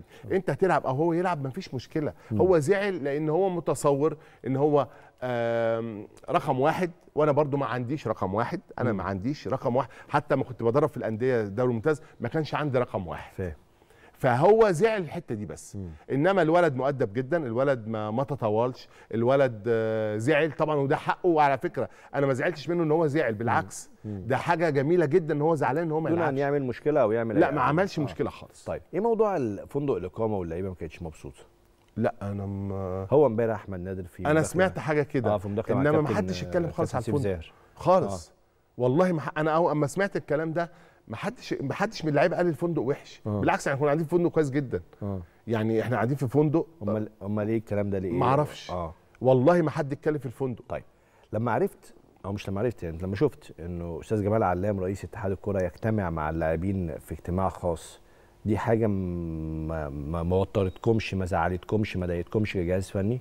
أه، بص يعني أنا في, في الوهلة الأولى قلت ليه؟ امم إنما هو قال هو عاوز يحمس اللعيبة. يعني هو عاوز لوحده يحمس اللعيبة. كرئيس اتحاد يعني. مش ينفع يحمسهم وأنتوا قاعدين؟ المفروض. آه. بس هو كان وجهة نظره إن هو عايز يقعد مع اللعيبة لوحده خلاص آه. أنت برضو رئيس الاتحاد اتفضل حضرتك مفيش آه. مشكلة والراجل على فكرة اتكلم بكل احترام جدا بالنسبة للجهاز الفني أو اللعيبة يا جماعة اكسب وبتاع وخليك آه، أنت أنت أنت الأساس يعني بس ده حصل في الوقت اللي فيه أحد أعضاء اتحاد الكره خرج وقال إحنا مالناش علاقة ما نعرفش الكابتن محمود جابر والجهاز الفني ده اتعين بأني معايير يعني آه. حصل بعدها على طول يعني في الوقت اللي فيه عضو.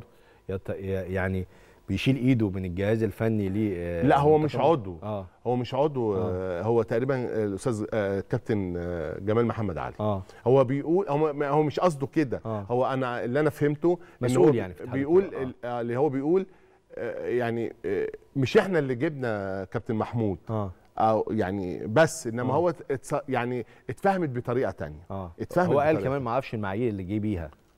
لا الراجل مع- المعايير الراجل لا الراجل هو هو اللي بيقول آه أنا آه، فاهم آه، أنا آه. قصدي أنا فاهم. آه. أنا ما أعرفش هو قال الكلمة دي بس أنا اللي أنا فهمته من ال ال الكلام اللي اتقال آه إن إحنا م- مش إحنا اللي جبنا كابتن محمود. امم بس ده اللي أنا ده اللي أنا فهمته سأل. على طول أستاذ جمال علام يجتمع مع اللاعبين دون الجهاز الفني. آه. ده معناه إن هو بيرفع إيده برضه يقول الجهاز الفني ده مش مش بتاعنا يعني. دي أنا آه. ما أعرفش داخل الناس إيه يعني آه. آه. بس يعني الموضوع وهو بعد كده قعد معانا يعني مم. يعني بعد ما قعد مع اللعيبة هل ابلغتوه إن أنتوا زعلانين من ده متضايقين من ده لا ده حصل أنا ما ما كانش فارق معاكم مش مش مش فارق بالعكس يعني ما أنا ما أعرفش هو آه، فكره إيه يعني آه. أنا ما أعرفش برضو كل واحد فكره إيه مم. إنما إحنا آه، مدربين راجل رئيس الاتحاد هو يقدر يتصرف أو يقدر يقول اللي هو عايزه آه، المدير الفني عاوز يتكلم معاه بيتكلم معاه دي حاجة بتاعته هو. امم بس. كم واحد من الجيل الحالي ينفع يحترف في أوروبا؟ من اللعيبة عندنا؟ يعني في في كذا واحد. في أحمد شريف ينفع يلعب في أوروبا. في أحمد نادر حواش. آه آه، محمد حمدي يقدر يلعب في أوروبا. آه، رأفت خليل. لعيبة لعيبة الملتزمة جدا يقدروا يلعبوا في هم اوروبا دول اللي يلعبوا منتخب مصر برضو؟ ويلعبوا منتخب مصر. اصل انت قلت لي في ثلاثة أو أربع أسماء. هم ما هم. تقريبا دول. تاني أحمد طارق. لا. كان مع منتخب مصر في المستقبل. آه، أحمد شريف. أحمد شريف عفوا. أحمد شريف. آه، أحمد نادر حواش. أحمد نادر آه، حواش. محمد حمدي. محمد حمدي. آه، رأفت خليل. آه. آه، مصطفى مخلوف. آه. حارس المرمى. طبعا نادر بيلعب بره. آه. آم، دول أكتر لعيبة ممكن نشوفهم في المستقبل مصر. وفي أحمد رضا السر- ال- السردباك و و آه، واحد تاني جودة. والله عبد العدد ده, جودة. ده العدد ده كان المفروض يكسبنا كأس أفريقيا المفروض. ما أنا بقول لحضرتك بس هو. في أحمد نادر وأحمد آه، شريف كانوا آه. مصابين. ويوسف حسن برضو كان مصاب. ما قلتليش بقى اللي هو المهاجم اللي هو آه، مظهر. مظهر. آه ما قلتليش اسمه. ما هو مظهر كده كده بيلعب بره. أنا ما حتى صلاح باشا صلاح باشا آه. لعيب كبير. آه بس, أنا ما كنتش معانا في البطولة بس أنا ما ما ما اتكلمش عليهم لأن هم دول كده كده بيلعبوا بره. آه. يعني آه مظهر بيلعب في اليونان. آه. وصلاح باشا بيلعب في- مظهر اداكوا المردود اللي أنتوا كنتوا مستنيينه؟ آه مش بالظبط لا لا. آه، ما يعني. آه يعني مم، يعني هو زي بيتقال عليه إن هو آه، هداف آه، بطولة البطولة الأوروبية آه، بطولة أوروبا. آه، المفروض كان يبقى أعلى من كده شوية. آه. يعني إنما هو لعيب كويس يعني هو لعيب كويس. إنما المردود بالنسبة ليه أو بالنسبة للعيبة كلها مش هو اللي كان مطلوب مننا. هل كان في محترفين ممكن يجوا أكتر من كده؟ يعني كان في دورتوا على لعيبة تانية موجودة في أوروبا اللعيبة اللي هي أنت عارف مزدوجة الجنسية اللي. عندهم جنس كان في آه طبعا كان في آه. كان في مصطفى أشرف المفروض يجي صح آه بس هي المشكلة كلها آه أنا اتكلمت مع المدير الرياضي بتاع مونشن جلادباخ لأن آه. أنا بتكلم ألماني. فاتكلمت معاه يعني هاي فهو قال إن أنا ممكن مصطفى أشرف يجي بس آه، تتعهد لي إن هو يلعب أساسي امم طبعا ما الموضوع ما أنا نفسي ما عجبنيش الألمان شوية آه الإيجو العالي ده. Arrogant آه يعني. آه اللي هو أنا آه أنا بس. آه آه. فطبعا آه، مصطفى أشرف أنا عارفه كويس ولاعيب لعيب كويس جدا وبيلعب في مونشن جلادباخ وكابتن منتخب ألمانيا. آه. آه، الولد آه، الراجل الم- المدير الرياضي اتكلم معايا وقال لي يعني أنا عايزه هو اللي يلعب عايزه يلعب أساسي. طبعا قلت له إحنا عندنا مباراتين آه، وديتين. يجي عشان يخش مع اللعيبة ينسجم معاها. وده طبعا من خلال الكابتن محمود يعني. إن هو يجي يخش وينسجم مع اللعيبة لأن هو جالنا معسكر واحد بس. آه الولد كويس وكل حاجة ومحترم جدا آه ولعب كويس جدا. فطبعا ال- المدير الرياضي قال لي كده وبعد كده قال لي لو مش هيلعب يرجع. مم. قلت له دي أنا ما أقدرش أجزم لك إنها تحصل يعني صح لو هو كويس هيلعب ما فيش. أي مشكلة خالص يعني مم. قال لي طب في حاجة تاني عايز أقولها لك قلت له اتفضل قال لي يلعب الثلاث مباريات الأولانيين ويرجع لنا ألمانيا يلعب مباراة معانا ويرجع لكم تاني مم. طبعا مش مش تمام يعني ال- يعني الكلام بالنسبة لي أنا مع إن أنا عايش كنت عايش في ألمانيا الكلام ما عجبنيش يعني طيب بخلاف ده هل بحثنا عن لاعبين أكتر في أوروبا؟ آه هل كان في هل كان في مثلا ما يمنع إن إحنا نجيب لاعبين أكتر؟ أصل أنا برضو لما تبص على المنتخبات اللي بتلعب معانا في البطولة دي هتلاقي لعيبة كتير برضو آه. بنسبة ما يعني في كل منتخب من أوروبا موجودة في أوروبا. هل إحنا بحثنا ودورنا أكتر ولا؟ كان في رامز معانا. مم. رامز ده مزدوج جنسيه مغربي مصري. آه كان كويس جدا. بس للأسف جينا ناخده قبل البطولة آه اتصاب. مم. يعني كان مصاب مع فرقة في إنجلترا وبيلعب في إنجلترا. مم. فاتصاب إصابة في جالي- تقريبا كده في رجله. فطبعا خسارة لينا كان المفروض كان يجي معانا لعيب. كويس جدا في نص الملعب. آه وهو كان معانا في معسكرات قبل كده هو مصطفى أشرف آه صلاح باشا بلال. فطبعا هم دول اللي كانوا اعتقد دول اللي كانوا واحمد نادر طبعا بيلعب بره.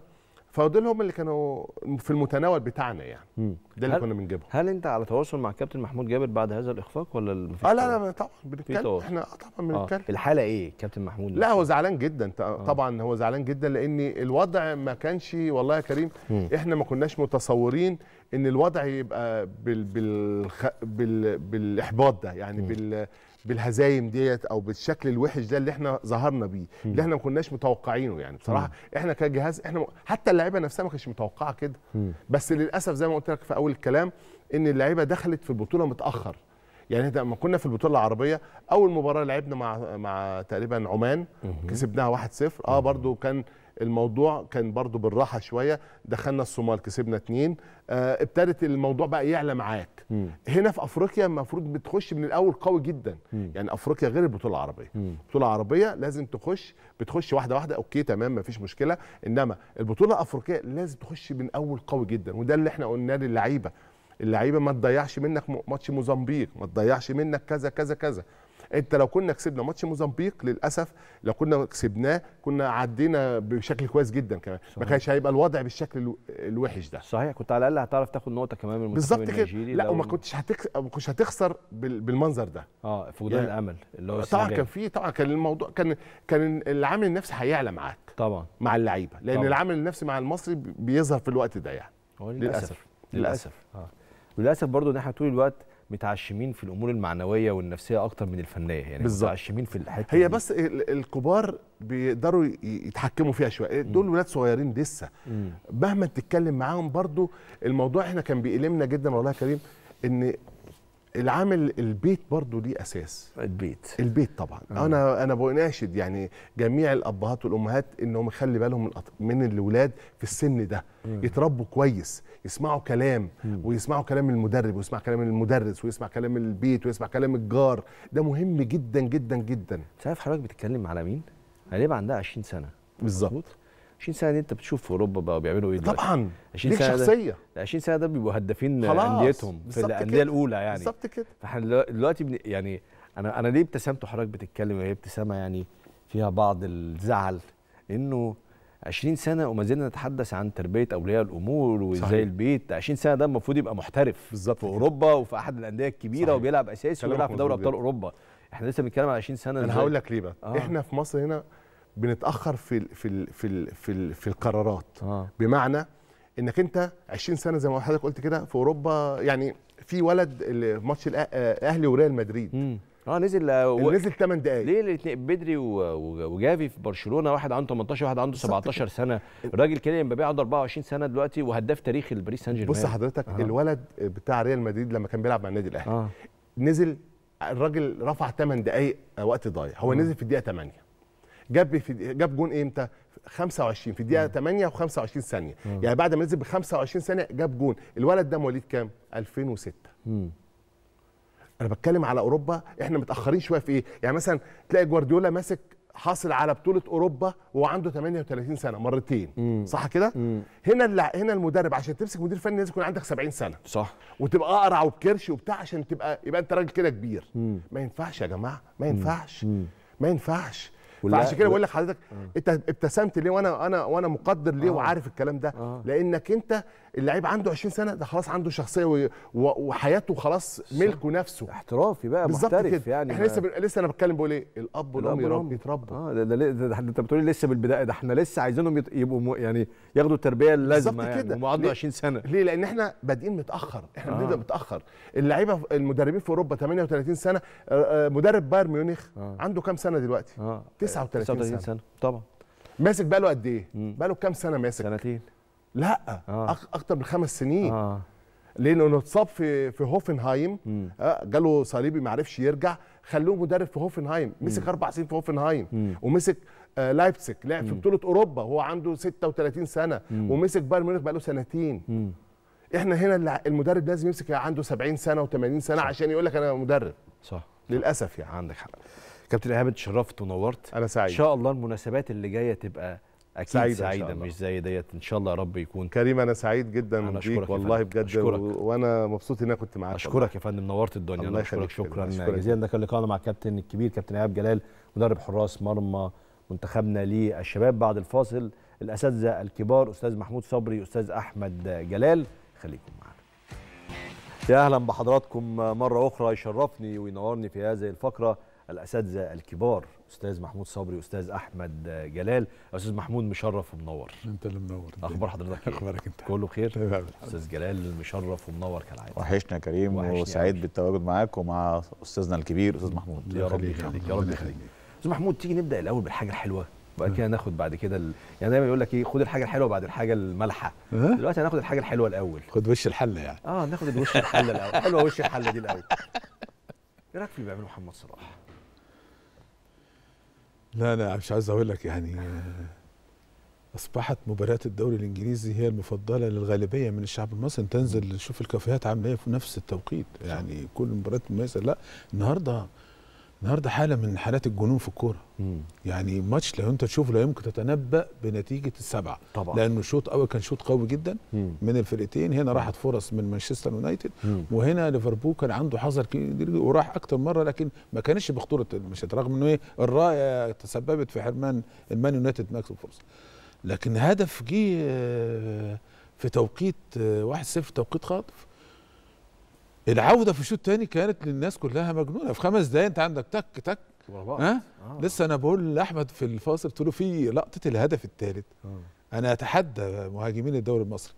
لو جات له واحد فيهم كورة مواجهة مع حارس المرمى يعملها زي ما عملها محمد صلاح. لا زي ما عملها آه. جاكوب اللي هو المهاجم. آه جاكبو. آه، تمام. بص يعني بص هو بدون حل. أنا قلت إنه هيلف ويرجع. آه. خلاص لكن الذكاء إنه يعملها من فوق كتف ال- ال- الحارس لا. في توفيق كبير أنا جدا بكلمك كمان على بتاع محمد صلاح لما محمد صلاح قلت لك شندل اللي ال جات له لا آه. اللي جات له آه. لا الكوره لا قبل قبل الكوره بتاعت مارتينيز اللي قعد يرقص فيها. آه. إنه الكوره اللي جات له لما شاطها على طول في سقف ديخية لما خلاك هو ما خل... ما فكرش إحنا الكوره بتبقى عندنا واضحة زي دي وضوح الشمس وسهلة هي على فكرة لا سهلة لا إحنا بن- بس بنبص على ساعة ال- الاستاد أيوه بالظبط أنا كده مش عاوز مش عاوز أقول كلام هيجرح ناس بأمانة شديدة مم. المفروض إن هم لعيبة محترفين على بيلعبوا في أندية مصنفة عالميا افريقيا ولها سمعتها كبيره انت تجيله فرصة زي كده في ماتش ريال مدريد ويحطها في الناحية الثانية وزعلان لو أنت كلمته مم. وتيجي فرص للاعيبة تانية برضه في فرص زي كده يحطها في أنا عايز أقول يا إذا لم نتخ... إذا إحنا ما تخليناش وصنعنا أجواء جديدة خاصة على مستوى الإعلام مم.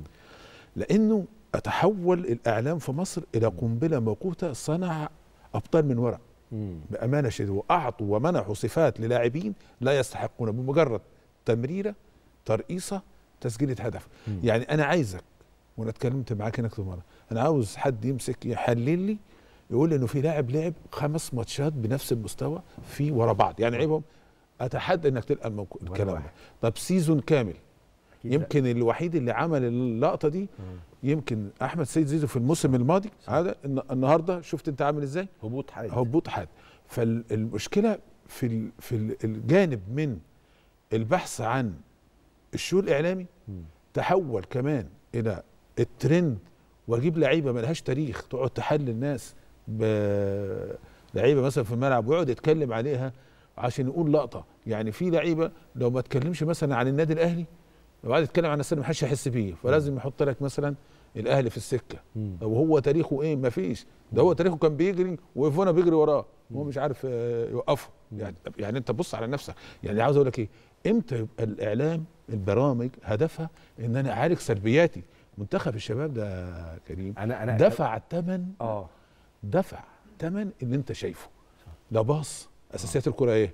تسليمه إيه؟ وتسلل طب أنت اتفرج على كده؟ والاحمد كان بيقول قبل الهوا على الكارثة. ما مش عارفين يبصوا فاللي حصل النهارده في ماتش آه، ليفربول والصراع الكبير بين الم- المدينتين آه. والبيان الجميل جدا. شفت بقى ال- البيان رقي الجميل جدا قبل المباراة عشان إحنا حاسين. شوف شوف إزاي بقى بقول للجمهور عامل إيه؟ ده مباراة كورة وهتنتهي. المباراه اتلعبت شوط أكثر من رائع. زلزال بقوة سبعة. ريختر ضرب مد- ضرب مدينة مانشستر مش الأنفيلد.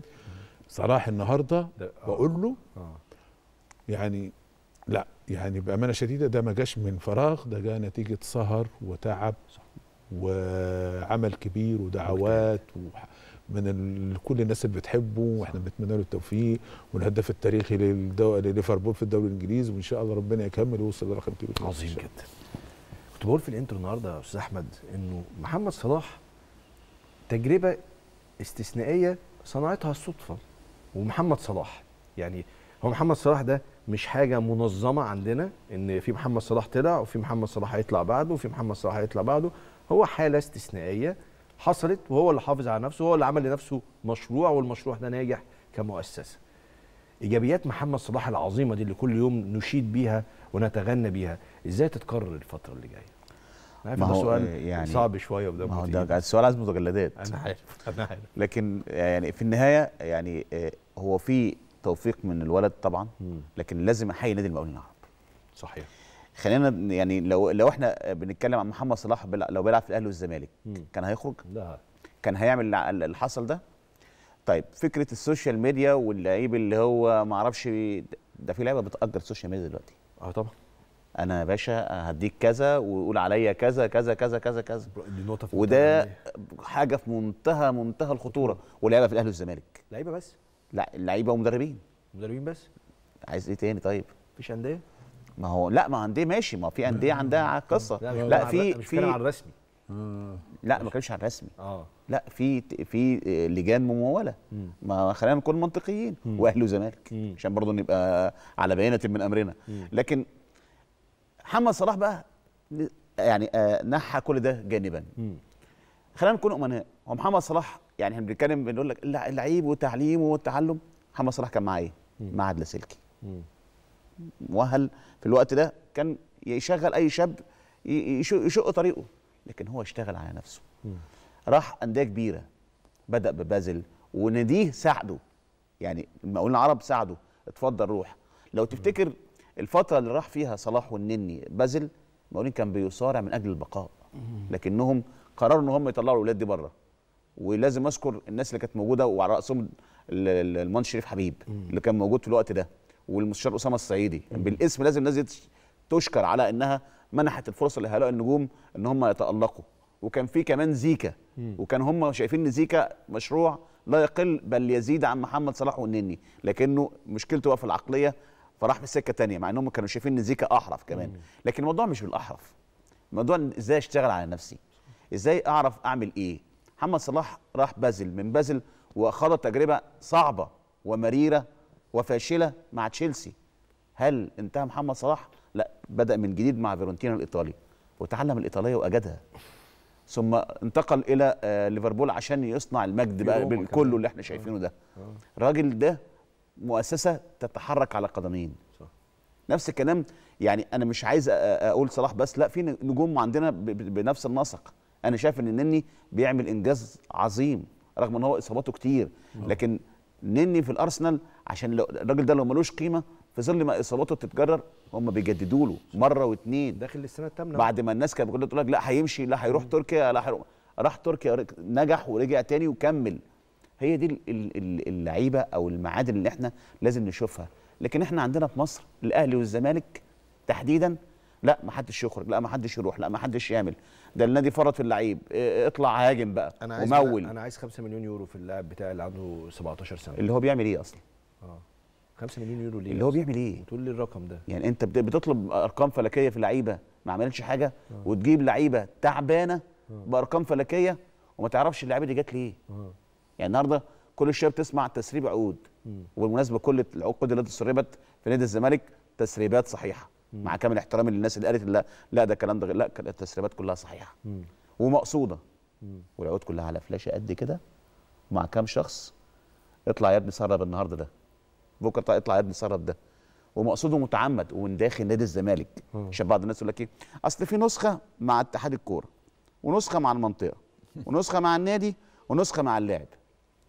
اللي بيطلع من النادي المنطقة مش هتطلع ولا اتحاد الكورة هيطلع. بدليل هو في منطقه الجزاء ما فيها أندية تانية. مع كامل احترام وتقديري ليها. سمعنا عقد اتسرب لأي حد؟ طب سمعنا سمعنا إن عقد اتسرب باتحاد الكورة لأي لأي نادي تاني غير الزمالك؟ لا يبقى الكلام طالع من نادي الزمالك. وهو بإقرار يعني بعض نجوم الزمالك وبعض أساطيره وبعض رموزه إن الكلام طالع من نادي الزمالك. لأنها مش أول ولا تاني ولا تالت ولا عشر مرة. إحنا بقى لنا سنتين ثلاثة بنشوف بنشوف نفس القصة. طب أنت في كل كل القصة دي كلها يبقى فين صناعة كرة القدم؟ صحيح. طيب.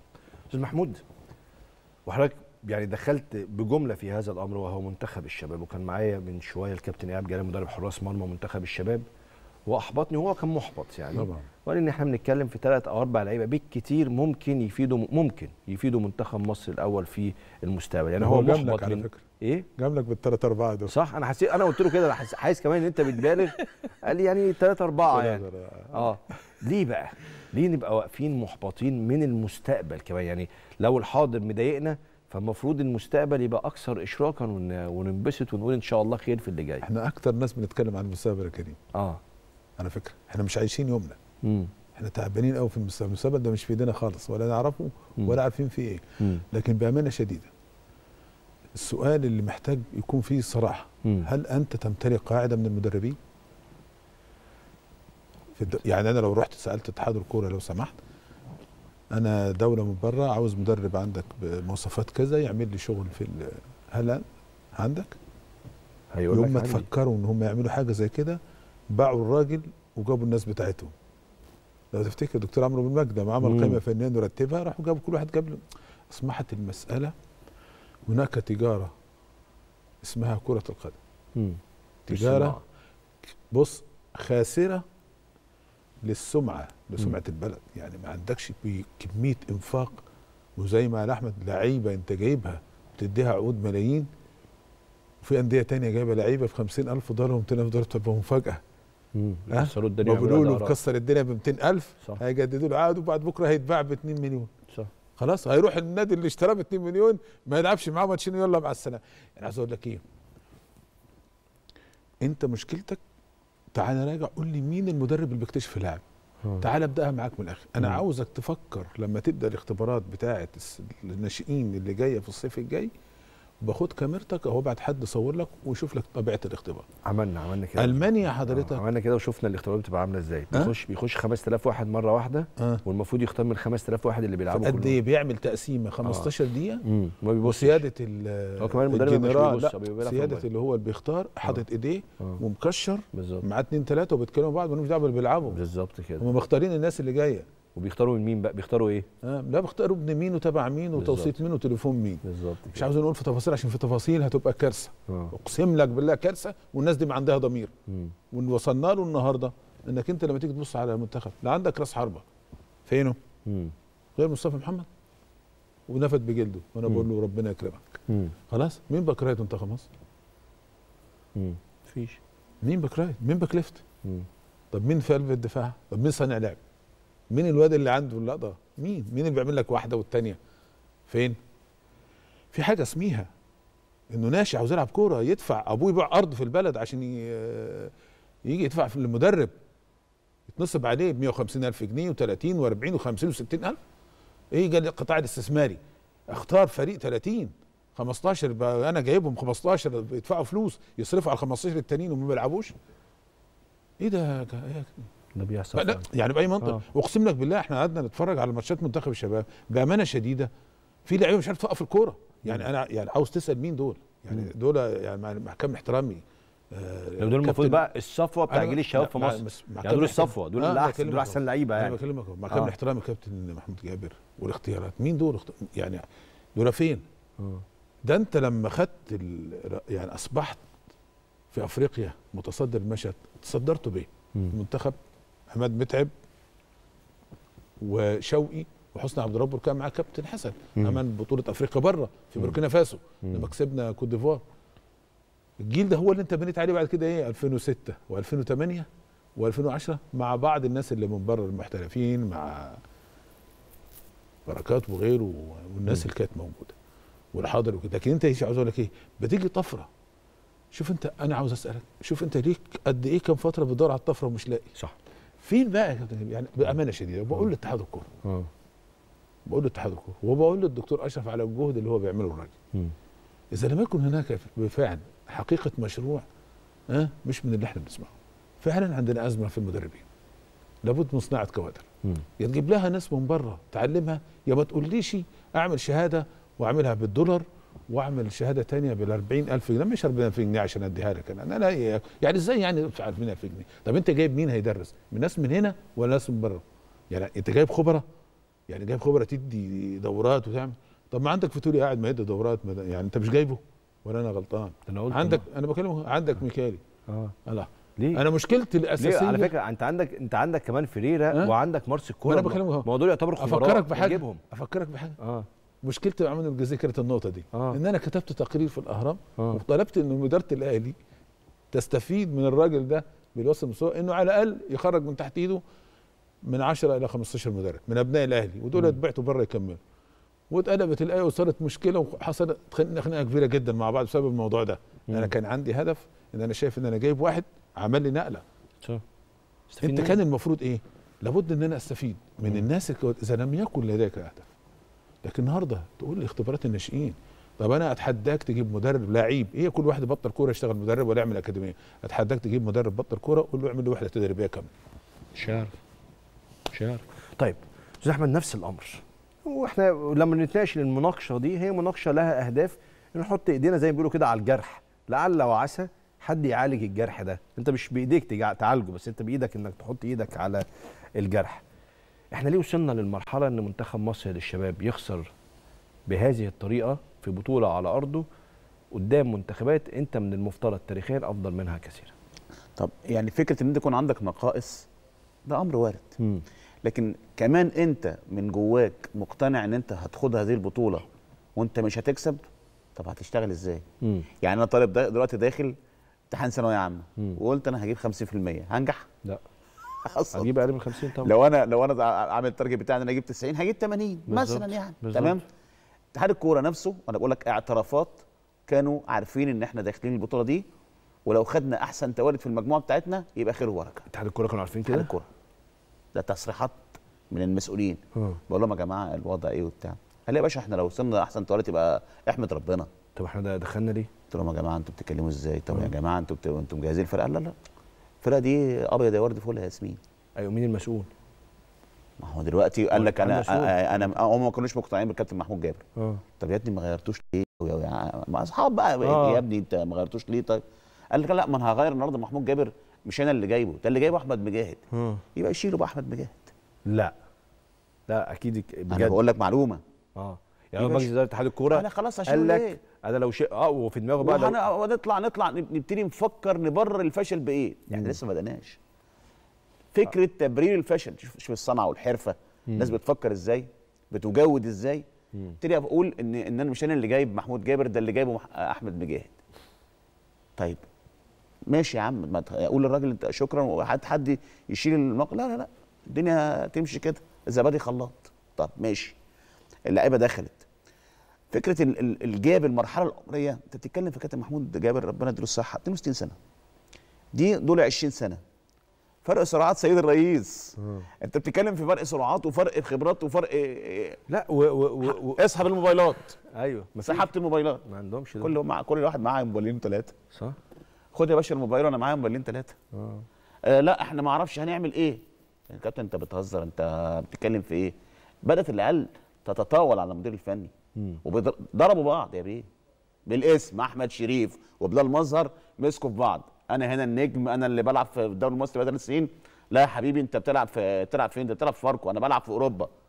ضربوا بعض. جه أحمد نادر السيد آه اختلف مع الكابتن إيهاب جلال اللي لسه ماشي وقال له لا أنت بتقول لي ما بلعبش ليه؟ ده أنا هروح هروح بره أقول لهم إيه؟ ده أنا بلعب في أوروبا. بتلعب عليا مصطفى مخلوف؟ طيب يطلع لعيب سين من الفرقة. يخرج. ويسهر ويتجاوز ويكتشف الكابتن محمود جابر ده ويقول لهم هستبعده. مش هكرر قصة عمرو وردة. فاستاذ جمال علامي يقول له لأ ما ينفعش. هتعمل لي مشكلة؟ دخله ما تلعبوش. اشمعنى ده اللي ما قلتش ده انت حليت اتحاد كورة بسبب عمرو وردة. آه اشمعنى ده ما قلتش اسمه؟ ما هو عشان التجاوز. آه. مش هقدر أقول اللي عمله. مم. انما التجاوز كان خطير جدا. مم. والكابتن محمود جابر عرف. آه. وأما واجهه حصل نوع من التطاول كمان. فحب يستبعده فاتحاد الكوره قالوا لا خليه خليه موجود وما تلعبوش. آه. عشان عشان قصة عمرو وردة. شوف قصة عمرو وردة دخل فيها يعني مناحي كتيرة وحصلت مشكلة وأحمد المحمدي من ساعتها ما لعبش وعمرو الغم من ساعتها ما دخلش المنتخب وصلاح الجمهور نفسه قلب على محمد صلاح اللي إحنا بن- بن- بنشكر فيه دلوقتي لأن الموضوع مس الأخلاق. طب أنت ربنا يكرمك إزاي؟ أنت بت- بتعمل كل ده؟ مش ممكن. فرقة مش على قلب رجل واحد فرقة ممزقه نفسيا وفنيا. ومعنويا. واتحاد كورة بايع الفرقة قبل ما تشتغل. طب خلاص. طبيعي كان اللي حصل ده نتاج طبيعي لكل اللي أنا بقوله ده. طب ما خلاص. أنت فشل في منتخب الناشئين. بعد ما كان ماشي كويس مع كابتن محمود محمد وهبة بدأ إيه؟ كابتن محمد خد فلان يلعب علشان ده ابن فلان والراجل ده هينفعنا وبيصرف علينا. فلان تعالى مح- 2006 ده. نعم. منتخب 2006 منتخب مع- مع 17 2006 ها؟ تمام؟ النادي كانت ماشية زي الفل لغاية ما بدأت تخش المجاملات اللي الاستاذ محمود لسه مشكورا نتكلم عنها. منتخب الشباب زي ما أنا قلت وسردت في قصص كثيرة جدا. ربنا يستر على المنتخب الأولمبي.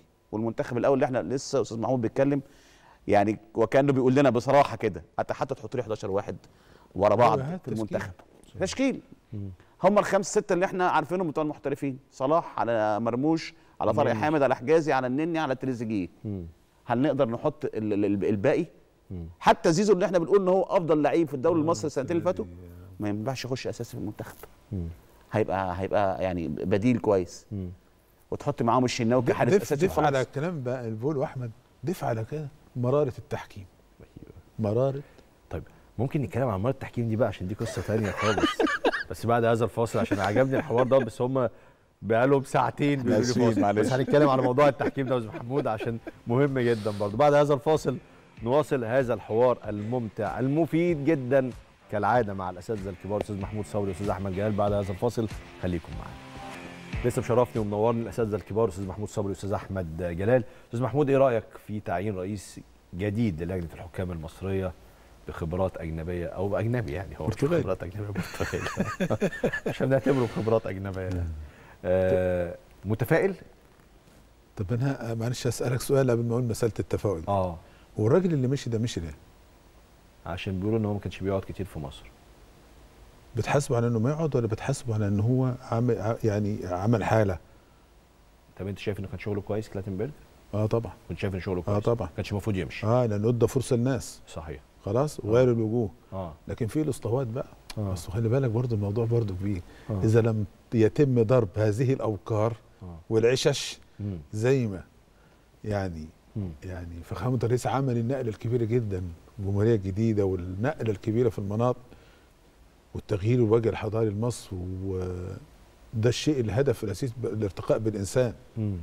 أنت محتاج في مناطق في الرياضة إن هي يتعمل معاها الكلام ده بأمانة شديد خاصة التحكيم لأنه في هناك أصبحت مصح- مسألة وراثة تورث أنا عاوزك لو أنت مسكت ورقة وقلم.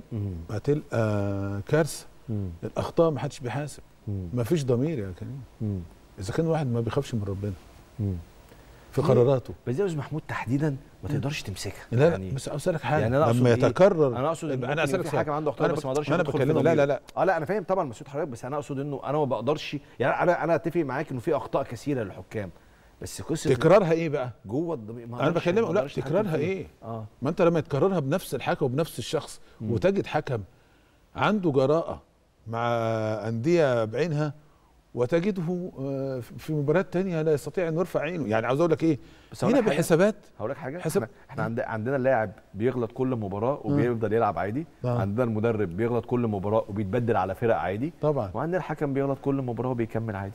وده ده الناتج كويس. يعني أنا اتمنى أنا مش- أتمنى مش إيه؟ الحكم بس أتمنى اتحاد. الكورة آه، من. اختيار الراجل البرتغالي. آه. بريرا يطلع يقول أنا جايبه يا جماعة الراجل ده مش هو اللي هيدير لجنة الحكام ده هو جاي طيب ارتحال طب. لو سمحت قول. لي تطوير الحكام اللي هيعملوا شكله إيه يا ريت يعني إيه ما تسيبهوش كده عشان ما تقولش مش أنا اللي معينه رئيس لجنة ده رئيس اللجنة توفيق السيد ومعاه محمد فاروق هو المساعد الأول والنائب الثاني والنائب الثالث يعني عاوز أقول لك إيه يا جماعة والله أنت ممكن تعمل حاجة واحدة في تاريخك عندما تكون مدير يعني لو عملت تريكه واحدة هتتحسب لك إنك أنت عملت حاجة صح إنجاز. يعني صح. عاوز أقول لك إيه ونجاح. لو أنت طورت مثلا منظومة التحكيم ها؟ هيقول الاتحاد ده مشي بس عمل نقلة ما حدش كده يتوقعها. عمل وجوه طلع طيب لو انت طورت قطاع الناشئين يعني مسابقات ناشئة على مستوى الجمهورية وجبت ناس تطور هو البنى بيتم تحت؟ يا كريم ولا بيتم من فوق؟ تحت.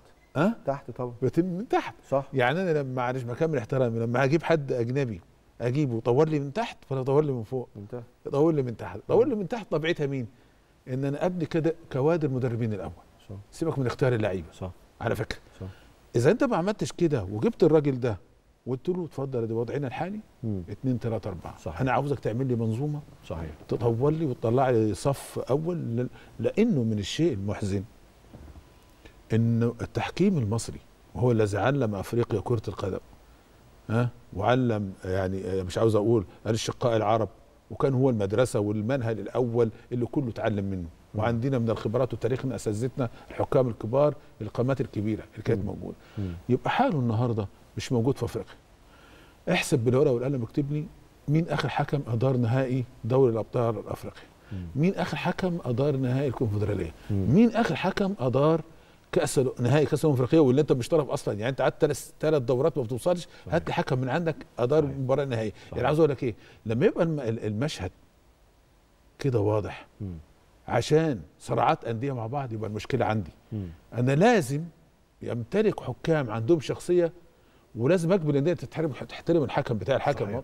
صحيح لازم يخاف صحيح. لازم اللعيب ولازم صحيح. الجمهور يحترم صحيح. يكون عندها لو أنا لو أنا كمسؤول وكإدارة اتحاد كورة ما امتلكتش لكن لأنه الناس ما عندهاش ثقة آه. وداخل فيها تفاصيل انت فاهمها واحمد عارفها وكلنا عارفينها وهنشوف ودخل أنا عاوز حكم فلاني عشان يحكم لي الماتش عشان عاوز اطلع من الثالث للرابع طبعا. أو من الرابع للثالث أو أنا عاوز اطلع من الثاني طيب أنا عايز اسمع برضو رأي أستاذ أحمد جلال قبل ما أختم في هذا الأمر في هذا الملف ملف التحكيم المصري آه طب ما تيجي نقول بس بريرا الأول آه آه. كان موجود موجود بقاله قد إيه؟ آه بقاله أسبوع بقاله موجود أسبوع في مصر مش لسه النهارده بقاله أسبوع آه لازم آه وراح وعمل اجتماع مع آه، ال- ال- اللجنة اللي معاه دي مم.